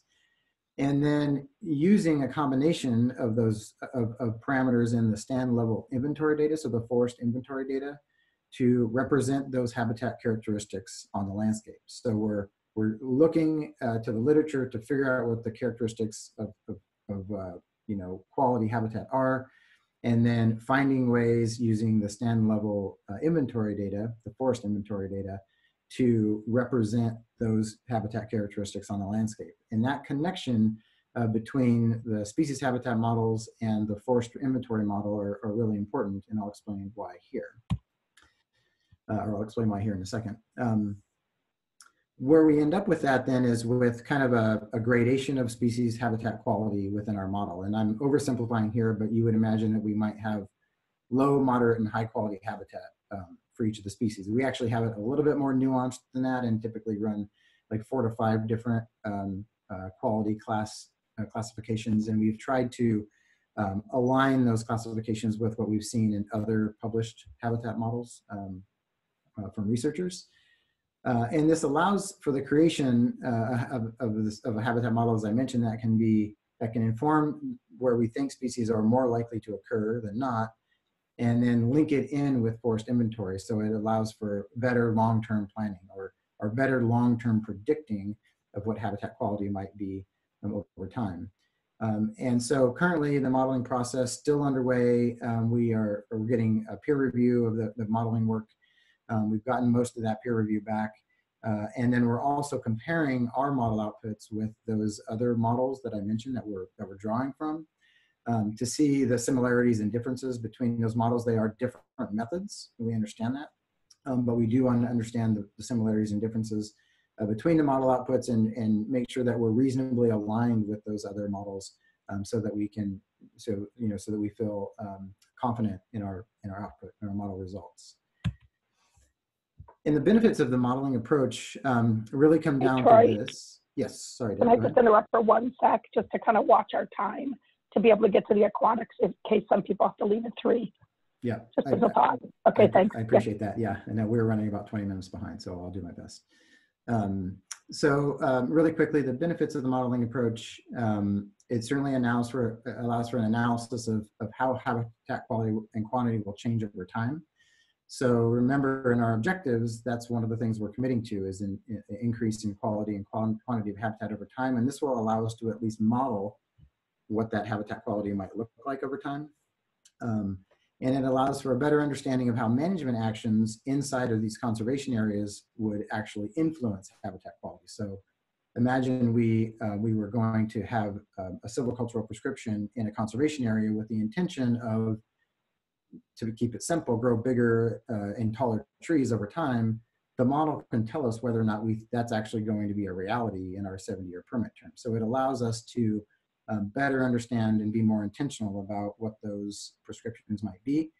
And then uh, it also allows us, uh, the last bullet here is to determine kind of the relative level of investment needed to increase uh, habitat quality over time. So how much would we need to spend and when to make those habitat improvements over time? And is it, is it worth it in the, in the grand scheme of things to do that? And if the answer is yes, then we would actually, we would definitely want to do that. If the answer is, you know, you see a, only a marginal increase in 70 years or so, um, then it, we may want to invest that, uh, that money somewhere else, for example. So lastly here, um, just a little bit of new terminology, because I know we need new terminology all the time. We have, have created a term called habitat conservation areas. And we're pulling all this information together, the survey information, the, the habitat models, um, and, and now to sort of delineate conservation areas on the landscape. Um, and uh, essentially what we're trying to do is to, you know, optimize where conservation actions are going to be occurring, um, trying to accommodate as many as our cover species in the habitat conservation areas as we can. Um, though some habitat conservation areas might only be uh, for one species. Um, so most of them will accommodate most of our species, which I think is helpful. Um, and uh, you know, I think we were, we've always been striving to make um, sort of bigger is better, if you will, but we are finding as we're doing this work that there is quite a variation in the size of habitat conservation areas. So there's no magic size or number here. Sometimes they're um, small, sometimes they're a little larger, and it really depends on the landscape and the planning context that we're working with. Uh, and as of now, and this is the work that's happening, uh, we're, we're actually working on uh, delineating those, those HCAs now. And then we are working with an assumption that some silvicultural activities will be occurring in those HCAs, as I mentioned, to help benefit uh, species habitat over time. Um, but we've really just begun those conversations, so not much more to say about that today. Um, but, but note that that is the intention as we move forward. Deb, would you like to go through the aquatic strategy slides as well, and then we can do Q&A on all of? Yeah, I was actually thinking so, and I was gonna make a plea to people who thought they would leave at three o'clock to try to stay till at least 3.30 just to be able to hear all the aquatics information. I just think it's, it's really critically important information, both the terrestrial and the aquatics. And I see Heath Curtis has his hand up, and I was hoping I could hold the questions to the end of both of these sections. Um, Heath, I hope you can be patient on that. It's just analytically just a little different than the aquatic strategy. That is to say, the habitat investments on the terrestrial strategy kind of require just a little different approach. And if it's okay, I might just ask one quick question here. Troy, you talk about you talk about you know the investment required over you know the term of the HCP to produce high quality habitat. I'm I'm curious what you view as uh, the legal obligation under an HCP to produce high quality habitat. That is to say, over a 70 year term, the stand is going to change characteristics a great deal. And I wondered what obligation you felt ODF had to, to actually do that. Thanks, Heath. That's a great question, um, and I think that gets really at the heart of the value of this of, of this methodology we're talking about, and that is um, certainly the the um, the criteria or the sort of the issuance criteria or the requirements aren't to improve all habitat everywhere. Um, but more importantly, what we're looking at is balancing sort of the habitat value, uh, the amount of habitat and the value of habitat against what will be lost from covered activities over time. And so, you know, all we're ultimately trying to do is avoid and minimize and mitigate uh, the, the effects to species.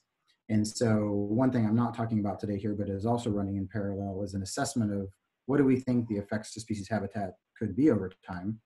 And then, you know, in trading what we think those effects might be with what we think or what we can model that we're going to gain in terms of species habitat value over time, it allows us to have a discussion about those, those kind of trade-offs.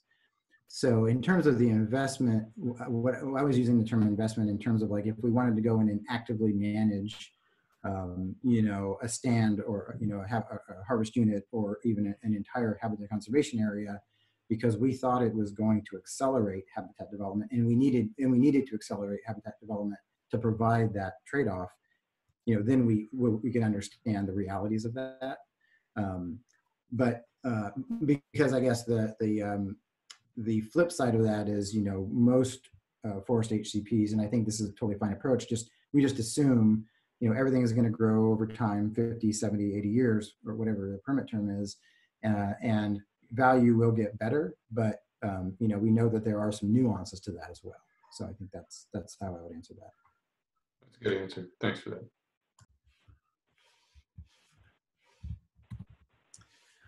So Deb, I think I'll move on to the aquatic strategy and go through this, and then we can go to Q&A, and then if it um, sort of bleeds in, into the discussion period, I think that would be great. So um, the, the aquatic strategy, um, a little bit different, of course, than the terrestrial strategy, but uh, certainly is as important. Um, so similarly, going to walk through these steps here with you, uh, and then I'm going to switch over to uh, another PDF and just show you a visual of what this is beginning to look like. So going on to slide 39, the reminder of the biological goals and objectives for fish. Um, we actually only had one goal for all of our fish species, and that was to support the persistence of, of covered fish in the permit area uh, by maintaining enhancing habitats and streams um, over the permit term. And then a reminder that the objectives basically came down to, uh, we're really focused on stream uh, processes and habit, in-stream habitat quality. So we were looking at uh, promotion of, of long-term wood recruitment, um, enhancing the overall you know, channel complexity through targeted enhancement projects, uh, maintaining and enhancing water quality and quantity, um, focused primarily there on sediment, and then uh, improving fish passage over time. So those were kind of our four main um, areas of focus and our objectives. And in putting together our, um, our aquatic conservation strategy, uh, staying pretty true to those, and it, it, really is broken down into three um, three key areas. And I'm, I'm not going to talk much today, or really at all, about the, the road network management or the stream enhancement projects. I'm going to spend most of the time talking about the, the riparian buffer strategy, but I just wanted to put it up here because I didn't want it to get, uh, I didn't want us to lose sight of the fact that there, there really is more to the aquatic strategies than just riparian buffers. Um, when we think about the, the biological objectives and, you know, um, and thinking about sediment and thinking about um, uh, in-stream habitat quality and, and all of those words that I had on the previous slide, uh, managing the road, the existing road network and thinking about, you know, how new roads will be built, you know, when and where and how, and then thinking about stream enhancement projects and how we will focus those in key areas to benefit species. Those are going to be as much uh, and as important uh, to the aquatic strategy as the riparian buffers are. So um, more, more on that probably at a future meeting, but I just wanted you to know that there is kind of a three-pronged approach here. Um, as we get into the riparian buffer discussion, uh, another important terminology shift. Uh, so to be sort of parallel with the idea of habitat conservation areas on the terrestrial side and HCAs, we are talking now about uh, riparian conservation areas or RCAs. So um, riparian conservation area is akin to riparian buffers by and large, um, but riparian conservation area we think is a little bit more um, holistic uh, terminology uh, and sort of encompasses everything that might be occurring in those areas. And um, I think the key questions here are always, you know, how big are the how big are the RCAs and where are they applied?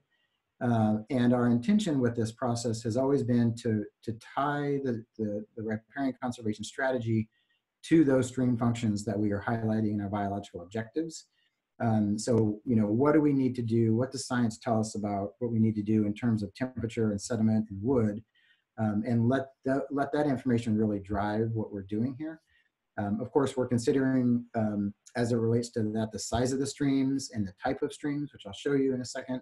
Uh, and then um, all the while want to memorialize the process of laying out the stream buffers, um, you know, in a, in a temp. So uh, as you may know, ODF currently does it that way. So when they are laying out a timber sale, um, delineating the riparian buffers are certainly part of that. Um, that's not going to go away. That'll still be happening under the HCP. And so um, we've been doing a lot of work to make sure that what we're proposing um, would, would actually work um, on the landscape in the future. So the variations um, in the in the riparian conservation areas um, really are informed by the following bullets here: whether or not it's a fish-bearing stream, which stands to reason, uh, the size of the stream, and the location of the stream in the watershed. So, um, is the stream, you know, where is the stream relative to fish-bearing stream? So, if we're in a non-fish-bearing stream or a type N stream, where is that stream relative to fish? And that might influence what we want to do there. Uh, and then um, also thinking about locations that have a high debris flow or a high landslide potential, again, thinking about the ability to capture uh, wood recruitment in the future.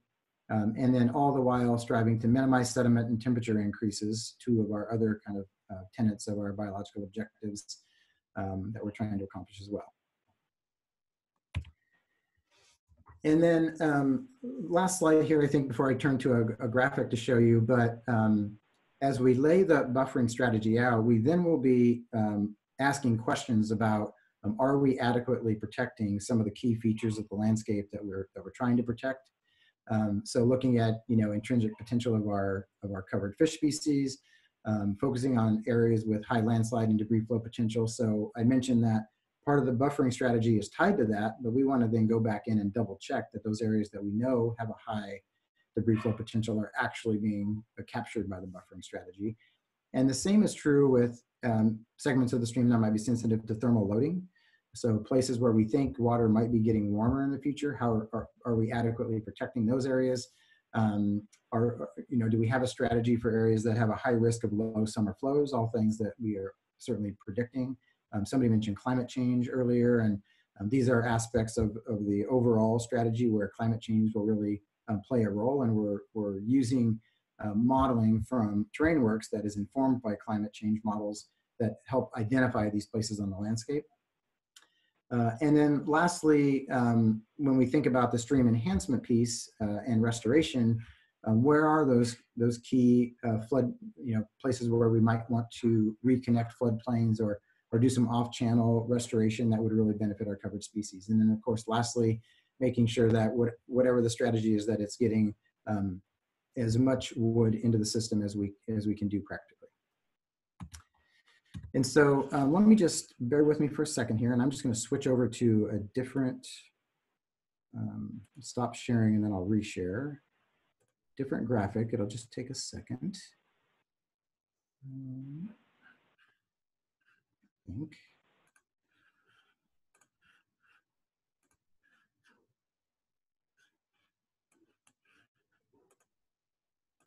There it is.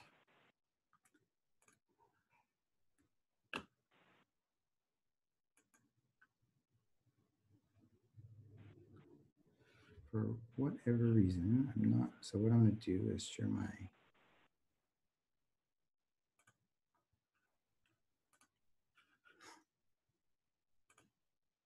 Okay. So hopefully you can see my, uh, this cartoon graphic now. Um, so just two things to point out here, and then we can go to questions. But I thought it was useful to show you I think this. we just see we just see you. Does everybody else see your graphic? Oh, I just see Troy. sorry. Because we like seeing you, Troy. There it is. Okay. I have to hit. graphic. I have to hit the share button. Um, thank you. You're on. You're on. Good. So um, two, a couple things to walk you through here. And this first first thing, this is kind of a two-part um, two-part graphic. So the first one, and I apologize, I don't want to make it too small because I think that you'll lose some resolution there. So I'll just kind of walk through it. But we have a series of of um, examples here of how you might define the aquatic zone. So the easiest example is just when there's just a simple stream and the stream bank is very clear and there's nothing adjacent. Obviously, any buffering strategy would start at the edge of that stream bank. Um, but there might be cases where you have adjacent wetlands or beaver ponds or some side channel migration. Um, and the channel, migra channel migration zone might be actually wider than the main stem channel. Um, or there might be some seeps and springs adjacent. And it's important, this is, this is um, sort of standard practice, but important to note that um, this is all different ways of defining what the aquatic zone is and the buffering strategy would, would pick up at the edge of that aquatic zone and be buffered out from there. So in the next graphic, I'm a series of relatively simple examples of what that might look like, but just bear in mind that the, the aquatic um, the, the, aquatic zone might be defined slightly different on the landscape depending on what's adjacent to the stream as well. Um, and then um, just two graphics here that I'll put up at the same time um, and I think are kind of informative. And I'll start with the one on the bottom. Uh, and apologies for those that are not seeing the screen. We weren't able to send this one out to the group, but, um, but hopefully most of you are. So this is just a very simplistic example of what the, what the buffering strategy might look like as you go up into the watershed. So just to start on the right, um, we're looking at a, you know, either a perennial or a seasonal fish-bearing stream, um, which would be buffered uh, at some level. And then you can imagine as you go up into the watershed, um, you have a small perennial fish-bearing stream, also buffered um, here, you can see. But then that stream is gonna transition as you go up up the watershed. So it's going to transition first from a fish-bearing stream into a perennial non-fish-bearing stream. And so we would designate uh, the area, the upper extent of fish use, and that would constitute a change in the buffering strategy. So um, the buffer would, would be reduced after or above um, the upper extent of fish use. But we've created this, um, this kind of new terminology around a temperature protection zone. And this is um, we're, we're working on defining the length of this zone and the buffering strategies within that zone, but there's interest in the scoping team in really making sure that we protect stream temperature in these streams that don't have fish, but they are right above uh, fish-bearing streams. And so whatever happens here um, would certainly have an influence on the temperature of water as it goes into those fish-bearing streams. So we're working on the buffering strategy in, in what we're calling the temperature protection zone. Um, and then beyond that, you can, you can see that we're sort of imagining a slightly wider buffer there, but then beyond that temperature protection zone, the buffer dropping down again. So sort of a tapering effect as you go up the watershed. Um, and then um, another change would happen at the end of perenniality. So when a perennial stream uh, turns into a seasonal stream, so you can see a perennial non-fish bearing stream uh, becomes a seasonal non-fish bearing stream at that point, uh, we would have a transition zone. So there's often some uncertainty about that, where that perenniality um, initiation point is. So we'd have a little bit of a buffer there um, just to be conservative. And then above that in the seasonal type uh, type N or the seasonal non-fish bearing stream, um, not a not a hard edge buffer, but certainly um, a restriction on ground-based equipment. And that's what's shown here with this hatched line. Uh, so that's that's the kind of like basic overview of what the the difference between the, the example I'm showing here on the bottom and the one on the top is that on the top, this is a, uh, a stream that has a, a, potential debris flow track. So this is a high debris flow or a high energy stream. And you can see the main difference here is that the buffering of the high debris flow stream goes all the way up and around the initiation point. So slightly different than a stream that's not a high debris flow stream where we get up into the seasonal type N, and we just have an equipment restriction in that seasonal type N. Um, in the high debris flow example on the top, we're actually buffering all the way up and around the top of that um, debris flow initiation point. And the intention there, as you recall, is to when, if and when that debris flow occurs, to capture um, as much of the wood as we can and get it down into um, the fish bearing system. So those are two fairly simplistic examples, but I think um, uh, it, it kind of articulate the nuances and the new terminology of the strategy um, uh, overall.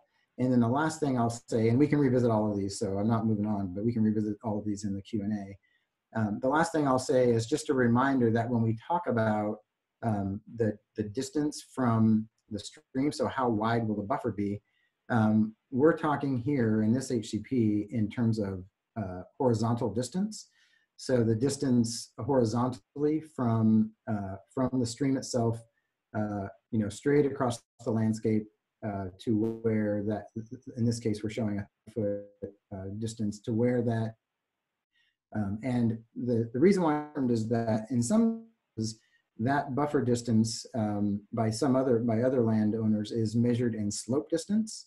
And that just simply means that you would walk up the slope 35 feet and that's where your buffer would start instead of walking up the hill and looking back at the trees along the stream here, uh, and measuring a horizontal distance. And so this graphic is showing um, the difference between horizontal distance, the straight distance, and slope distance um, over four different slope um, slopes from zero to 100% slope. And the important thing to note here is that as you go, as the slope gets steeper, um, the difference between horizontal difference and slope distance becomes greater. So if you're flat ground, um, it's going to be, in this example, 35 feet, whether you're horizontal distance or slope distance. But if you go up to 100% slope, um, you can see that uh, a 35 foot um, uh, horizontal distance actually measures out to be about 49 feet um, on the landscape. So it's quite, quite a bit larger. Um, important, the reason why we're pointing this out is so that uh, when we say uh,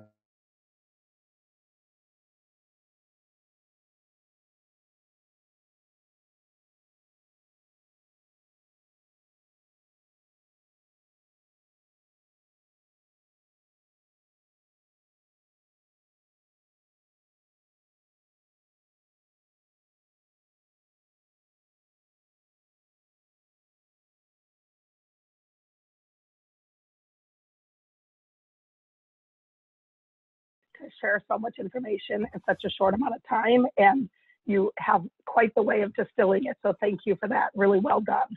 Um, I want to pause before we jump into questions in case for some people that might have to leave.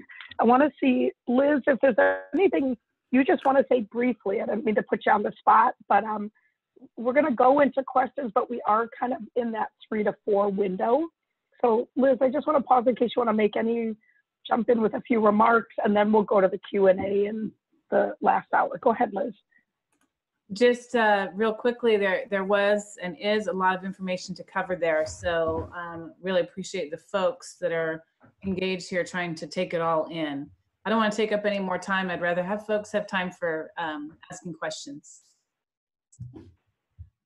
Well, thank you for that, Liz. And so even though we're kind of transitioning in, into this informal zone, I think it's a perfect use of the time.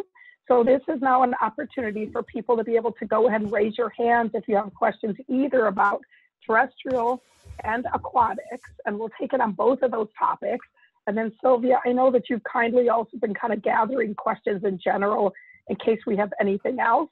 I know we may, if we lose a few people, we want to thank you for having been with us, for having been um, up for the challenge of virtual meetings. And overall, um, just please remember that all this information is available online on the website. If you have questions, go ahead and send them by email to Jason or other comments that we didn't get a chance to hear. And now we're going to also look to the queue and see who has their hand up. And please feel free. We have from three o'clock to four o'clock, and you've got a great group of folks ready to engage with you. Um, Deb, so, I- um, oh, go ahead, Troy. Of course, yeah. Yeah, if I could add, if, if, if people have questions and they want me to show, go back to the PowerPoint or to, to go Mhm. anywhere in particular on any of these handouts, just direct me and I'll do my best. Yes, good, good. So um, thank you for that. And so go ahead. I have Heath up first, and then I have Mary Scurlock afterwards. Go ahead, Heath. Thanks. Uh, Troy, in this graphic, this is perfect that you have here. I, I wondered uh, on the bottom there that buffering between the temperature protection zone and the transition zone, uh, what what functions are you serving to, are, you trying to preserve uh, or enhance there? Yeah, great question. So um, I'm pointing to it here on the screen for folks um, to, to articulate Heath's question. So Heath, I think that the key things there that we're trying to preserve would be um, retaining the, the wood recruitment function, the wood recruitment ability. So we, we want to make sure we get that wood into the system if, if and when it falls. And then, um, of course, sediment, uh, which would be uh, both here and as you go up uh, into the even the seasonal type Ns. So I would say sediment and wood would be the two functions we're, we're primarily focused on in that case. Yeah, wood movement in those small perennial type Ns beyond the zone of temperature influence uh, would be pretty limited. I, I look forward to uh, watching how that conversation develops. Excellent. Yeah, thank you. Okay, so that was Heath, and then Mary Scurlock. Go ahead and uh, Jason. Let me pause, Mary. Can you wait one sec? Jason, do you have something you needed to break in and tell us? I just have a couple of questions that have come in over here, and uh, that was just to indicate. Okay, we'll have you wait in line. So Mary, go ahead and take your turn. Thanks.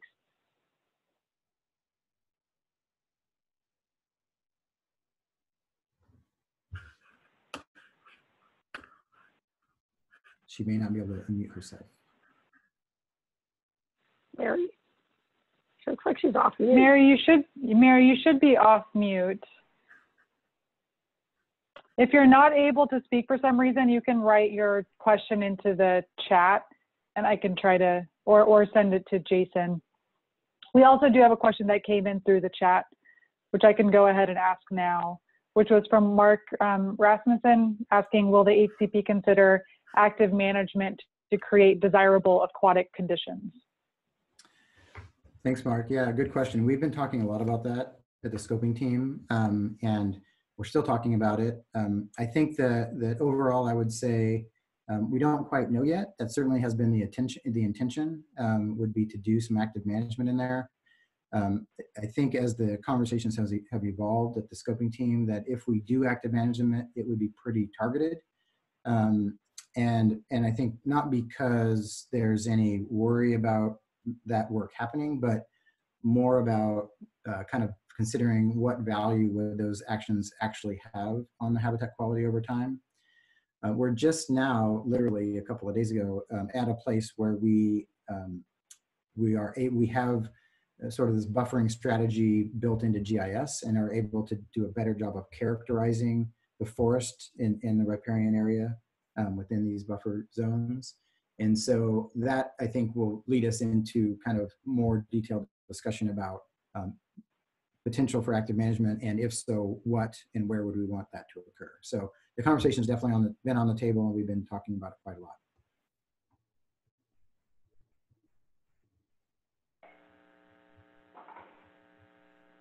Okay, so um, I am actually typing to Mary. Sylvia, it looks like she might have only joined in to the video and might not have a speaker on. Yeah. So we'll give Mary a chance to try to join back in. And Jason, why don't you go ahead and read us a few questions? That would be great. Or maybe one at a time. Go ahead. Uh, well, one of them was the chat question from Mark, so we got that covered. Um, Bob Van Dykes of the Wild Salmon Center was asking, uh, has the riparian team uh, considered an aquatic anchor strategy that sorts watersheds for different strategies depending on importance for species?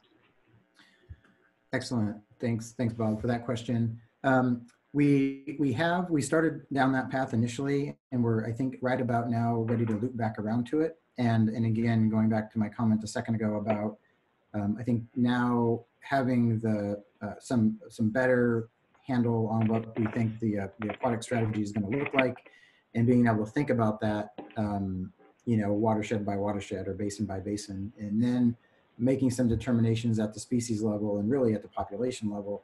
Um, do we feel like we're doing enough uh, in a in a particular population for for that species? Um, and then if not, uh, what you know, what else might we want to do or need to do? Um, the other element of that of this is, um, of course, we're talking about, and I'm showing the aquatic strategy sort of as if it's in isolation.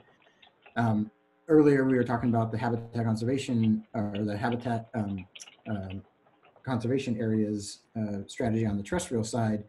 And of course, those strategies will be merging on the lands landscape. So even in places where we have an aquatic strategy like this, like I'm showing on the screen, there will be additional, um, you know, conservation happening in the in the watershed potentially because of the terrestrial strategy.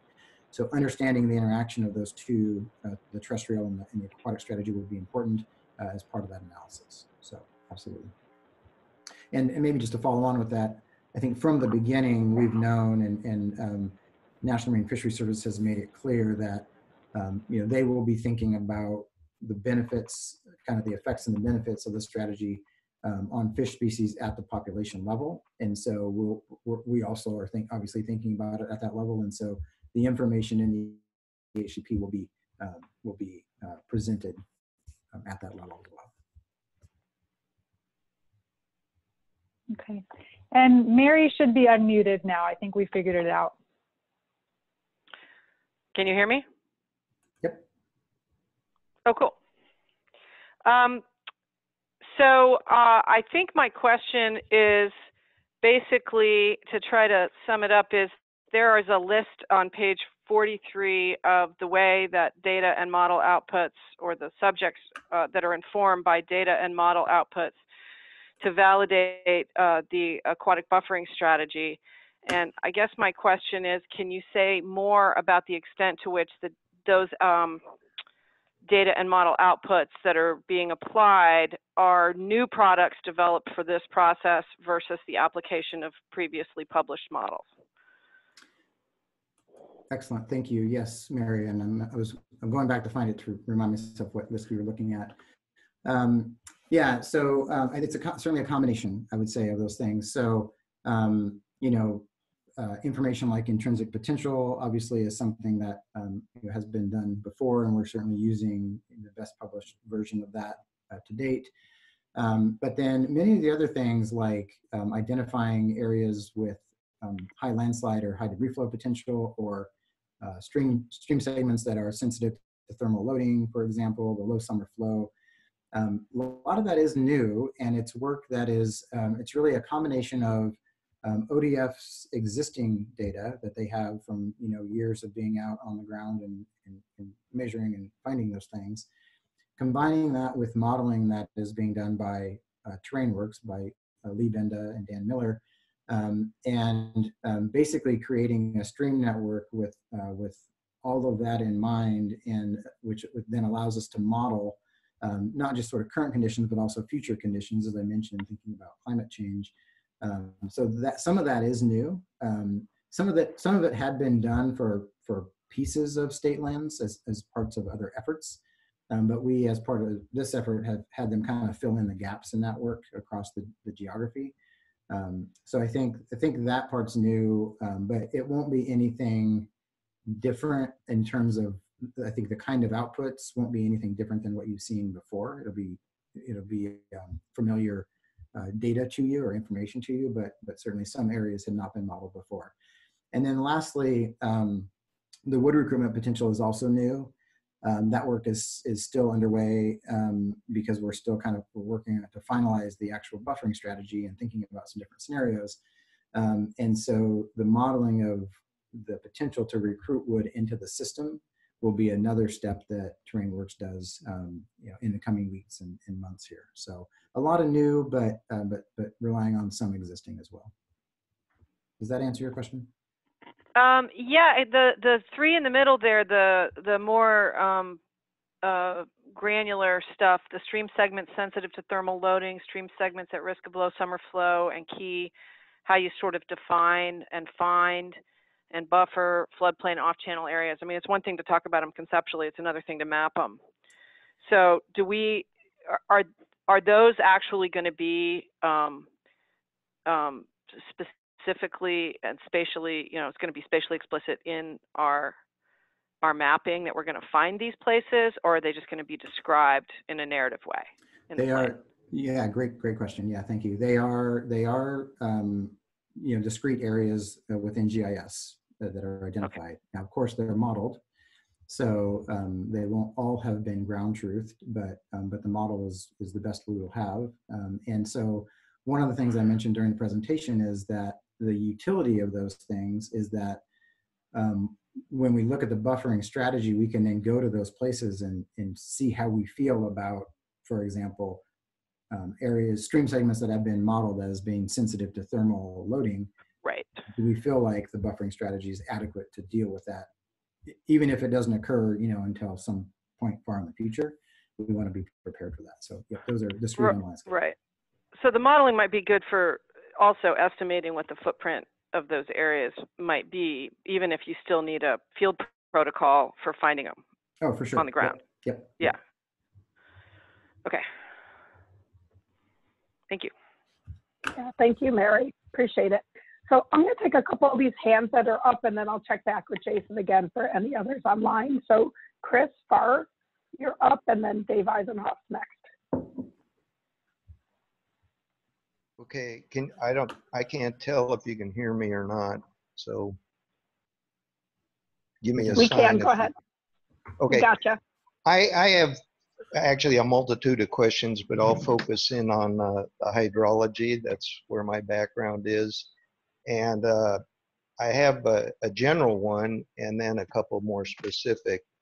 The general one is, do you think that you have sufficient hydrologic data in terms of uh, flows and um, the other parameters in terms of quality that you consider important, like temperature and sediment loads? Do you have sufficient data to actually model uh, enough of the hydrologic system to be able to have it um, contribute significantly to this habitat plan?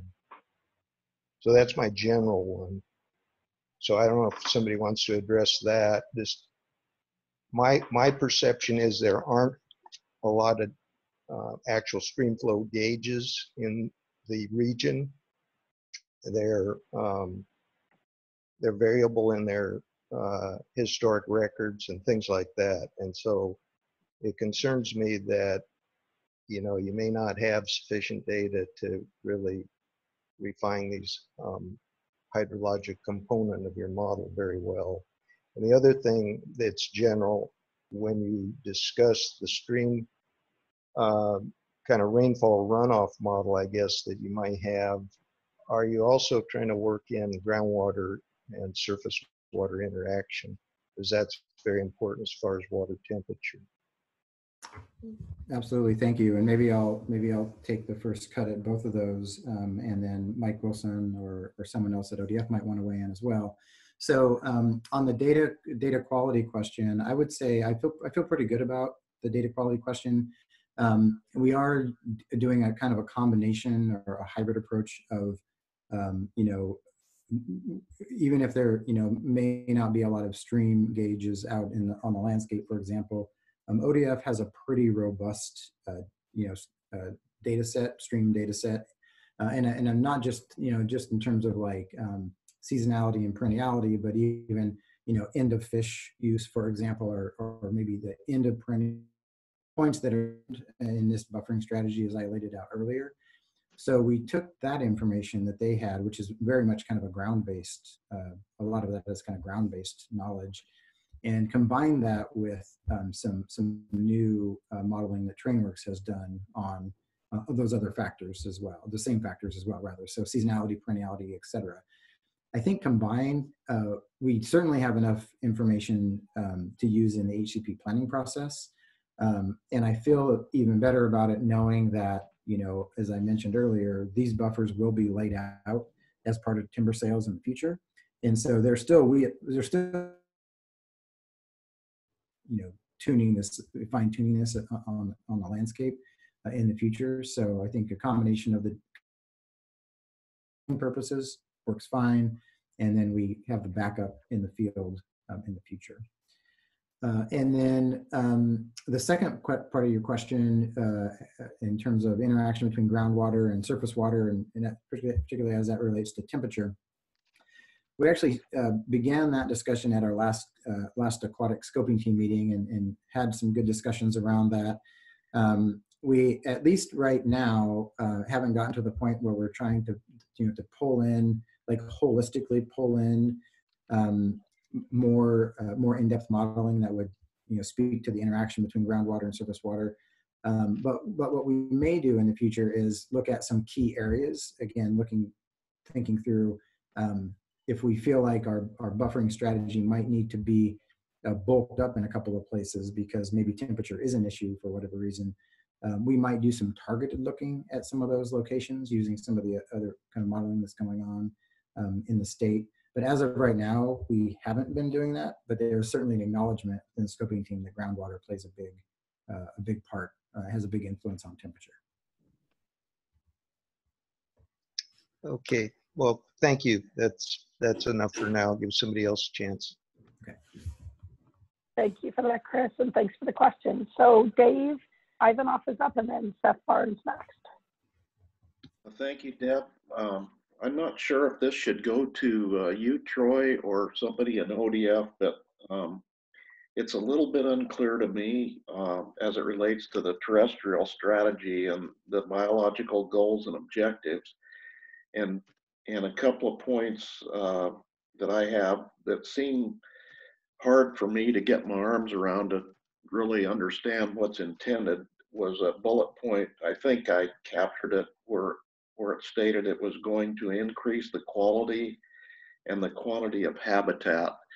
And I guess my question is relative to what? And then, um, and then a follow up beyond beyond that. Two follow ups is that um, when when I understood Brian was talking, I understood him to say that that uh, the goal is to have um, you know a, a healthy and resilient forest. And when I hear that phrase, it it really speaks volumes to me about ODF having an, enough revenue or cash flow to make sure the forest is as productive as it can possibly be for not only current generations but future generations as well and that we needed to practice young stand management and certainly have the revenue to maintain the inventories and to deal with uh, forest health issues. Um, and so, is there some understanding um, of just how much additional revenue is needed to to end up with a healthy and resilient forest? And um, uh, then the final question I have, and gets back to the question I asked earlier on, at what point in time will we be able to start seeing some timber output levels um, uh, consistent with managing around these these aquatic and terrestrial uh, goals. So, kind of three questions there, Troy. Excellent, and maybe I'll I'll take the first one relative to the habitat quality, uh, quantity and quantity, um, and then Brian might want to weigh in on the on the forest piece. Troy, Um, could, I, could I please ask you to talk a little bit louder, please? Oh, sure. Sorry about you. that. Yeah, sorry. Um, I'll do my best there, and let me know if you can't hear me. Um, so on the uh, on the habitat quality and quantity, and, and I mentioned earlier, that's you know one of the biological objectives that we state repeatedly for for many of our terrestrial species. Um, so the question, your question, Dave, I think was like, you know, when we're measuring that relative to what? And um, I think that really will come in two forms. It's certainly relative to, to now, you know, I would say now being when the HCP begins.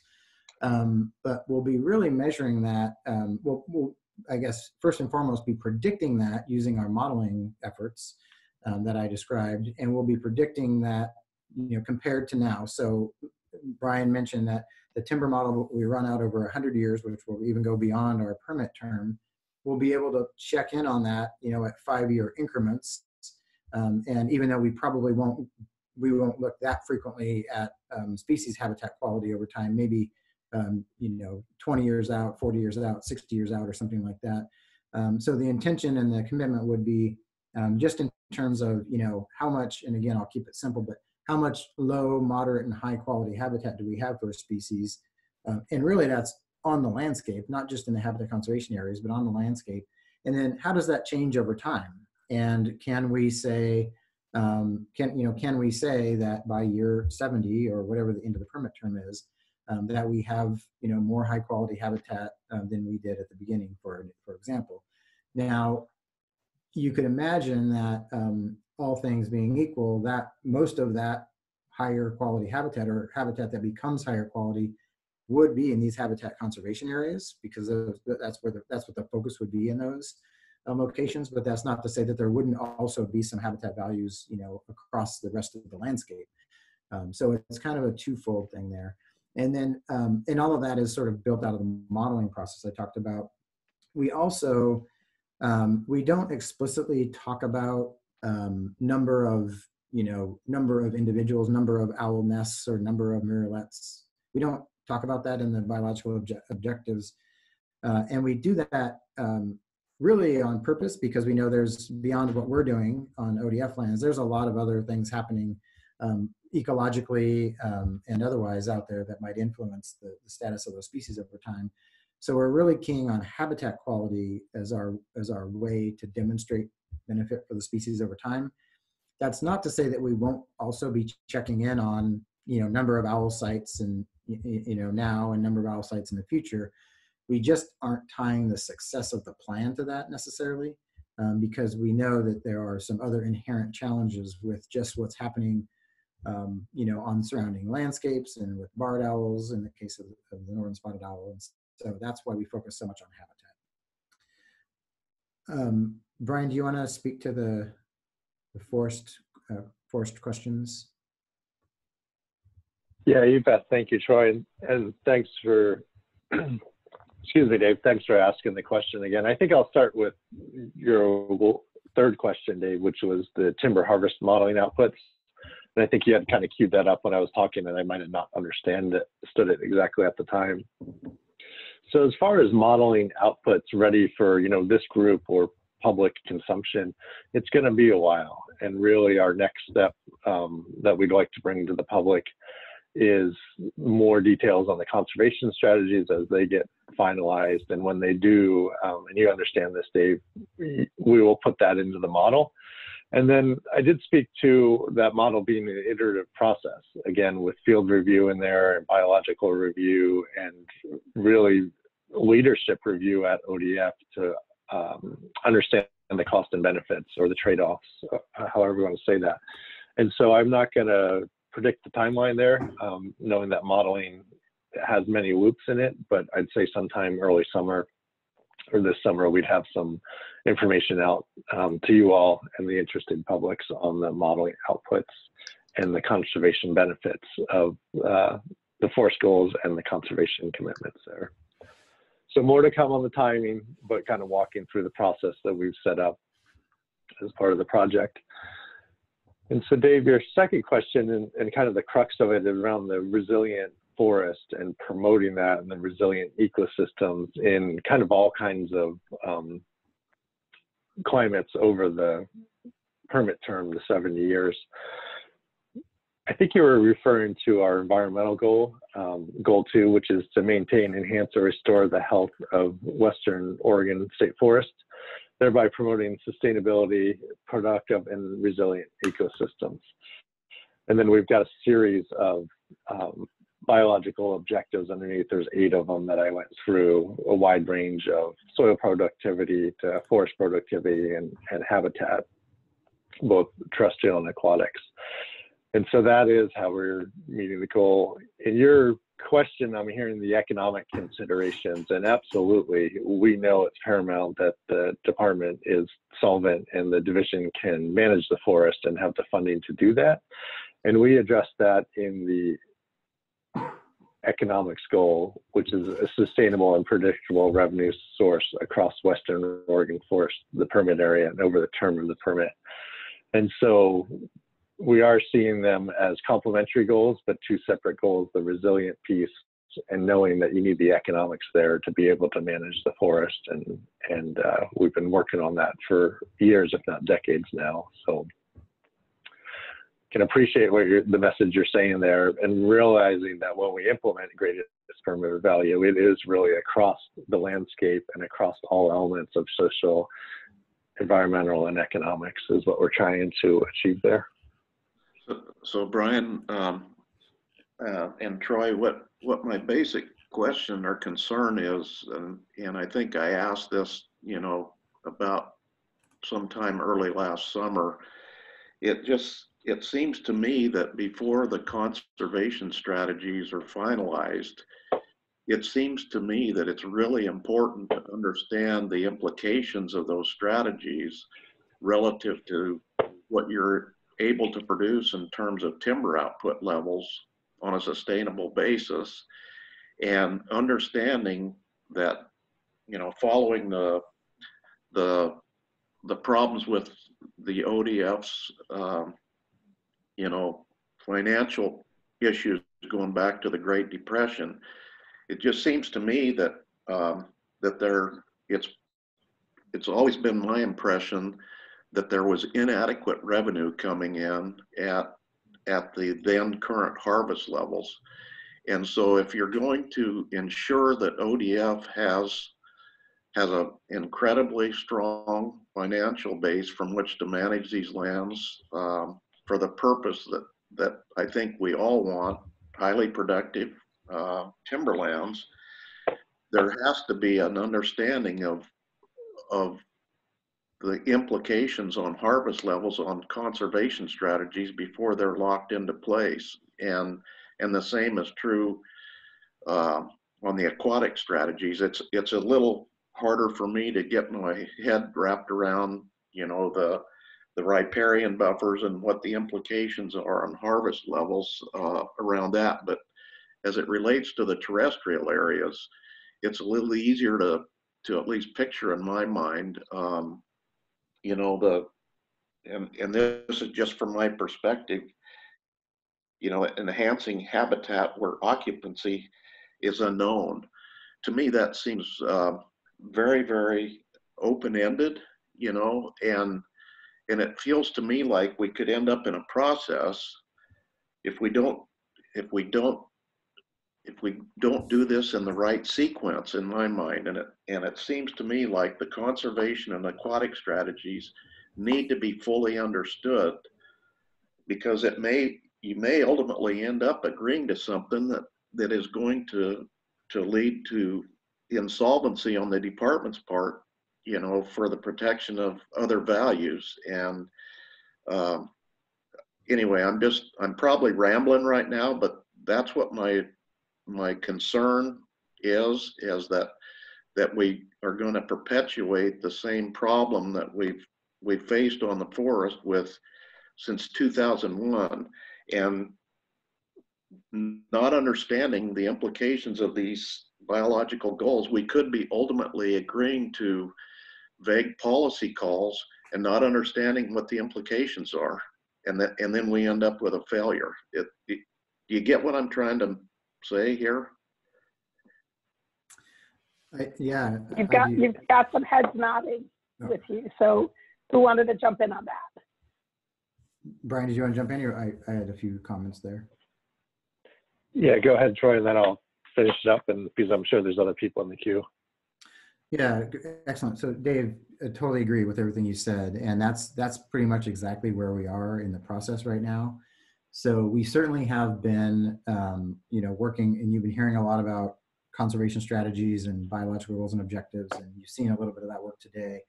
Um, we certainly have been um, thinking about that, you know, from the perspective of what would be uh, best for the covered species, right? Like what would be the most efficient way to put a conservation strategy on the ground. Um, and by most efficient, I mean um, efficient in terms of you know managing for the species, but also efficient in terms of uh, creating you know flexibility on the rest of the landscape to do other uh, other uh, covered activities, namely harvest activities. So we certainly have been thinking about that, you know, leading with the science, but we have been working with, um, you know, as on the terrestrial, for example, we have been working with the, um, the ODF district staff, um, getting their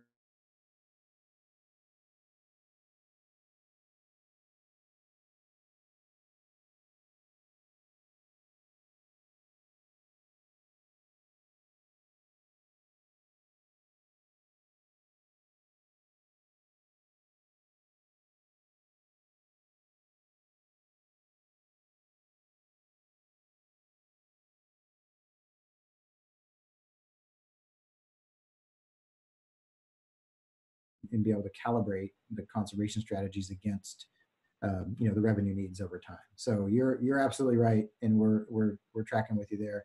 Um, and um, I think we're almost to that point where we're ready to intersect those two those two streams.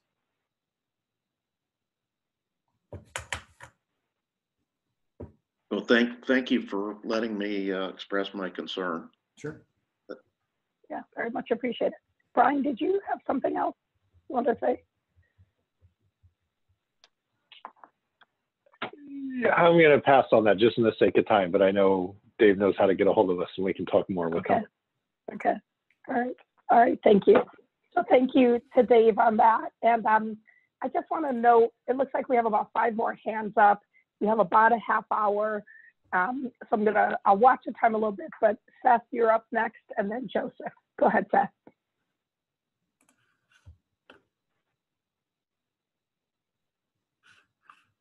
The answer kind of covered some of it, but I, I'd, I'd like to know um, specifically the dates when we might, uh, if, or, or the, the rough timeline. Sound like maybe this summer we're going to see some of these strategies and and the the modeling. Uh, maybe in the next month or so, we might get a chance to look at some of the modeling, but it won't be till the summer till we see the strategies. Help me out there. I, I it looks like you're fairly close on the aquatic piece just missing what those cramp, you know, what the what the distances are and some of the some of the details that are really important there.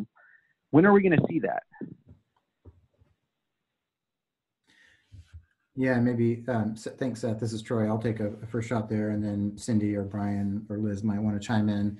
Um, you know, I think the the one thing that's important, and we've talked before about wanting to make sure that as we begin to roll out the the specifics around the strategies, the distances, and the specific areas that would be part of the terrestrial strategy.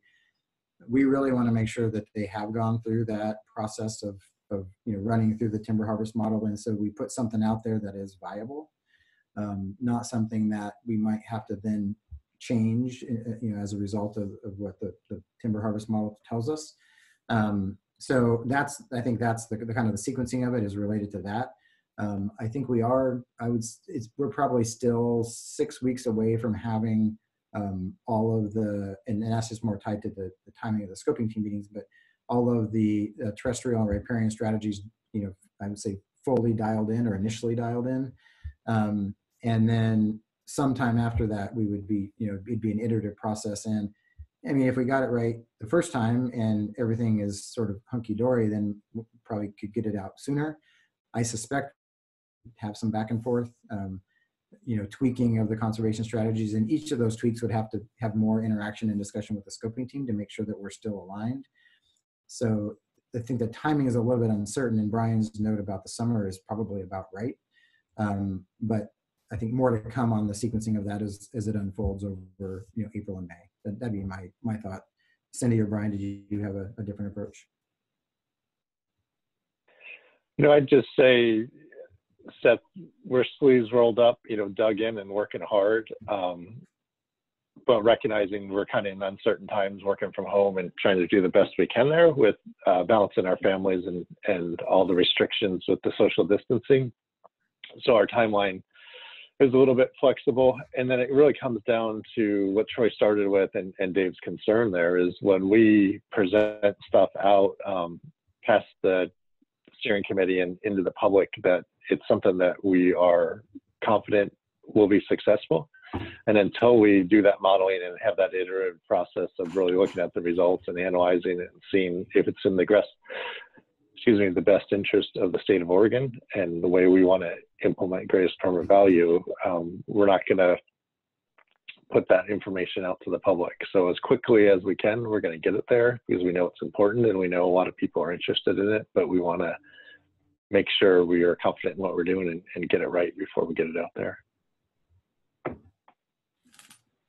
So if I might, if I might ask a follow up, uh, how does the Board of Forestry fit in with that? Uh, where do they fit in and, and when?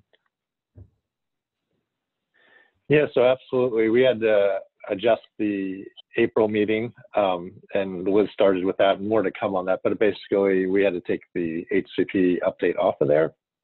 We were never planning to present the full strategies at that meeting, and they know um, they knew that because we've been um, talking to individual board members quite a bit, keeping them up to date. Liz has been doing a great job at that. So the next um, opportunity we have will be in July, and we'll update them with the most current information. And again, this gets back to are we going to weigh out all those strategies in July or not? It, it depends. We got to see how much work we can get done between now and then.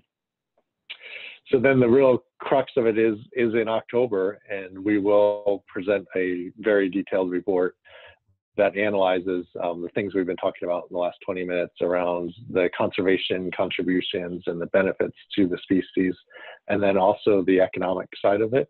And it will have some high level harvest levels in there at the forest wide level and some predictions um, of modeled results on the revenue, both costs and expenses, and, and the financial viability of uh, the division on that, and then also the revenue distribution to the counties and local taxing districts.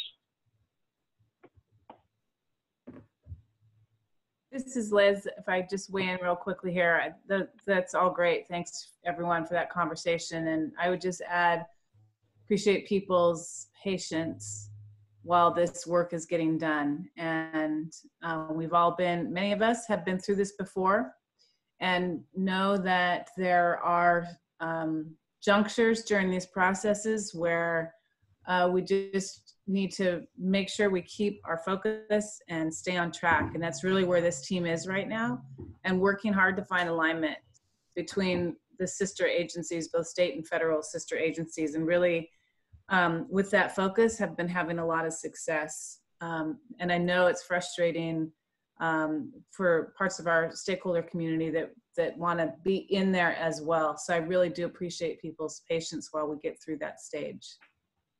Um, and then, uh, yeah, as far as the the analyses that are going to be presented to the board in October, it's never too soon to make sure people know that those are all considered relative. All those numbers will be considered really in a relative sense to help the board think about, depending on which direction we go, uh, what are the relative outcomes on these multiple factors that that we need to be providing off of this land base. That's um, that's all I wanted to add. Yeah, appreciate that, Liz. Thank you. so we have about 20 minutes left. This is Deb with a little bit of voice left. And I'd like to make sure we get, we have four people with hands up. So I want to just make sure I get to all of you. Joseph, you're up and then Craig's next. Go ahead.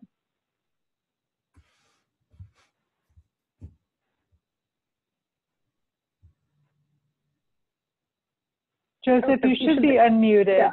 If you're you're having trouble, you, Joseph, you're off mute, but if you're having trouble and if you're on your phone, you can message me your phone number and I can see if I can unmute your phone. This is Sylvia.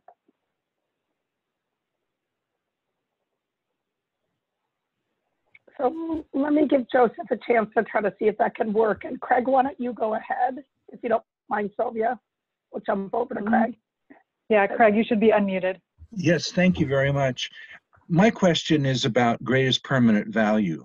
And I, I 53 years ago, I worked in a lumber mill with my grandfather that had worked in the lumber industry all his life. And it's gone downhill since. Um, in spades, 40 years ago, 71% of the employment in Lane County was wood products forestry based. Today, it's three to four to 5%. And that's not the exception, that's the truth everywhere.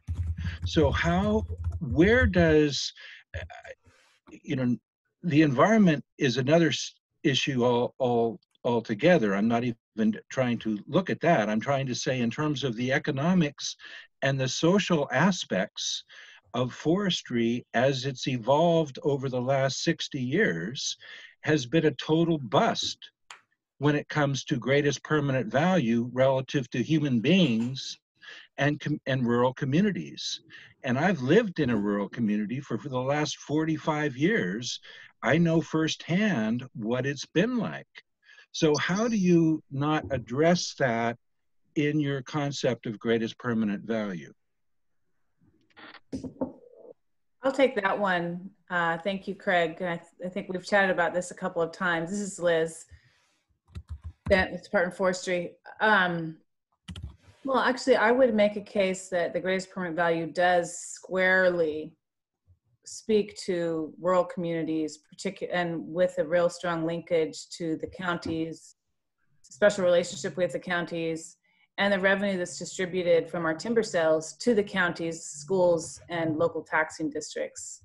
I think relative to the land base that we manage, there's a um, significant contribution to rural communities with close to two thirds of the revenue that comes off of state forest timber sales going back to the um, to those communities. Um, this so that's one thing I would say. backing out a little bit further, um, with greatest permanent value, it's a clear commitment to um, providing all of these benefits, which is a tall task, environmental, social, economic benefits, in the context of a working forest. So it clearly anchors to the notion that these forests will are working forests and there will be forest management and forest harvest that takes place in those forests. Um, the other services clearly with uh, recreation education are the are, are larger scale sort of social benefit. I think that uh, what you're, you know, so I can say all that and it doesn't necessarily, it will not address the reality of the, the um, challenges that our rural communities are facing.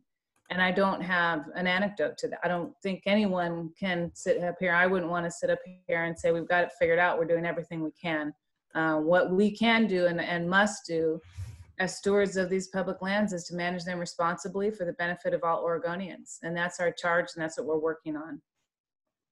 Well, I, I would just say that when you look at the school districts, the McKenzie School District where I live has 200 students in 13 grades. 35 years ago, there were 12 to 1400 students. And that's the case everywhere in all rural forested communities, because if you don't have jobs, you can't support families. And I would say that it's time that we look at the fact that there isn't anything sustainable about industrial forestry relative to communities and the economics that support those communities. There's no evidence for it. Yeah, and um, I th- so to me that's maybe a different conversation. We're talking about managing a public land base under public mandates for uh, all Oregonians, and so we have a different charge, a different mission mandate um, than do private landowners. And so I'm, you know, want to be in a position of um, making some sort of overarching statement around um, industrial force practices. And oh, yep. Go ahead. Um, pardon me? Oh, no, I wanted to let you finish. Go ahead. That's good. I'm done. Um, well, thank you. I want to say thank you, Craig, for the question. Thank you, Liz, for the conversation and the answers. And I'm going to need to be moving on here catch just a few more people before we have to wrap up. So, Sylvia, it looks to me like I've got Connie Moore and Doug Cooper next. So, Yeah. Connie, I think you And can go as ahead. an, and just an update, Joseph Yoren um, said that he'd submit his comments in writing, lowered his hand. Oh, So okay. go ahead, I- Connie. I noticed he was gone. Okay. Oh, okay, because I was gonna say I've been on a couple of times and I didn't think Doug had, and so I was wanting to make sure he had time. Um, I just want to say because uh, you know I do appreciate everything that ODF does, and I, if I had sounded critical in the past, I didn't mean to.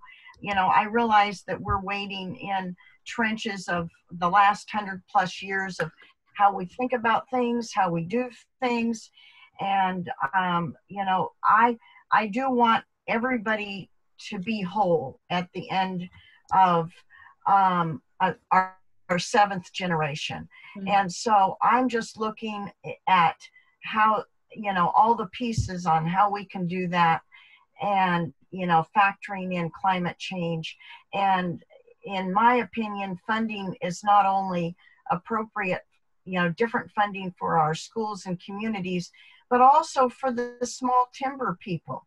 You know i don't think we should leave them out i think that as we transition to some to a more sustainable model that everybody should be made whole and that's my goal Thank you, Connie. That's, um, that's a really important sentiment for us all to keep in mind. Appreciate it. Thank you, Connie. And- So. yeah, mhm, I'm done. Oh, all right. Thank you again, Connie. Appreciate it. Yeah. And Doug Cooper, why don't you go ahead?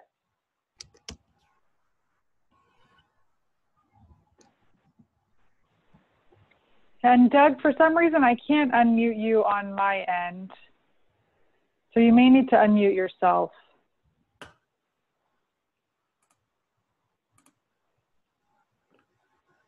Or if you're calling from a phone, um, if you chat over the phone number you're calling from, I can see if that's the issue. Uh, let's There see. go. Can you hear me There now? we. There we go. Gotcha, gotcha. Go ahead. Oh, okay. Thank you.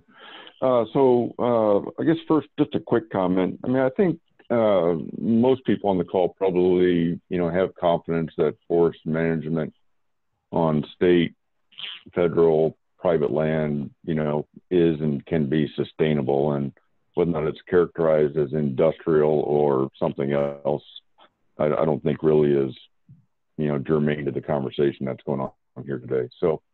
Um, this may be able to be taken offline, so it's back to the harvest modeling. But a real quick question, maybe for Troy, um, back or Cindy, uh, for that matter, back when the initial uh, business case analysis was presented, there were harvest modeling figures that were presented at that time, and I think that went a long way to the persuasion or influence that the board had in um, supporting pursuit of the HCP to this point. How do you characterize uh, that modeling that was done that generated the harvest volume and revenue figures to the current level of, we'll call it policy level modeling? Um, and then a follow-up question after that. Yeah, maybe Cindy, I'll go first, or Cindy or Brian, and then if you want to uh, weigh in after that, happy to have you do that. Um, thanks, Doug, for the question. I think in, in terms of level of detail, um, that's a, that's a really good that's a really good question. I think in terms of level of detail between what you saw in that versus what you might expect here, in some ways, um, you know, I would say same level of detail in terms of you know kind of like uh, gross numbers, if you will. Um, in other ways, the information in this in this up, upcoming comparative analysis and in, the timber harvest, the policy level timber harvest modeling we're doing now, uh, in some ways the detail will be um, there will be more detail in only because you know the information has, has been updated a little bit. Um, some of the um, certainly the assumptions around what the HCP will be will be greatly different. Because if you remember in the business case we were sort of guessing we were you know based on other similar examples and now that's will be more dialed in. So on the timber on the policy level timber harvest modeling side maybe kind of same level of detail but i would say that the confidence in those numbers and how acres will move uh, in terms of what's accessible versus inaccessible uh, we'll have I, I think more confidence in the numbers now than we did back then um, whether or not the level of detail changes too much, it's more refinement on the on the approach as we are two more years into it, basically. Cindy or Brian, do you want to add any on that? Yeah, I think that's right, Troy. And also, um, not just the timber harvest modeling, but the species modeling that um, a lot of the difference between HCP and our current FMP was around for listed species and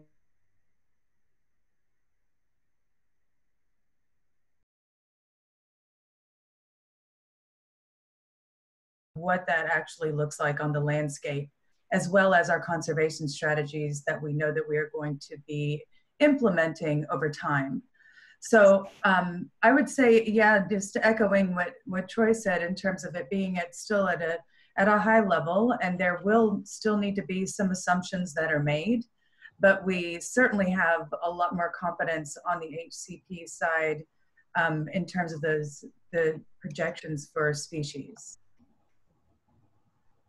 My follow up, uh, real quick, is just um, I, I, had thought some time ago that uh, there would be harvest model figures available here in April. Uh, and, and is that still the case at the policy level?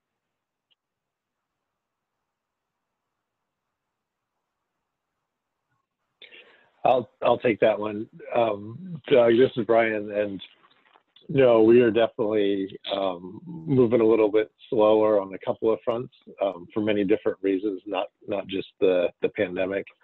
What we are doing in April is um, sitting down with you and other uh, the experts um, at first week in April and, and talking more about the details of the modeling.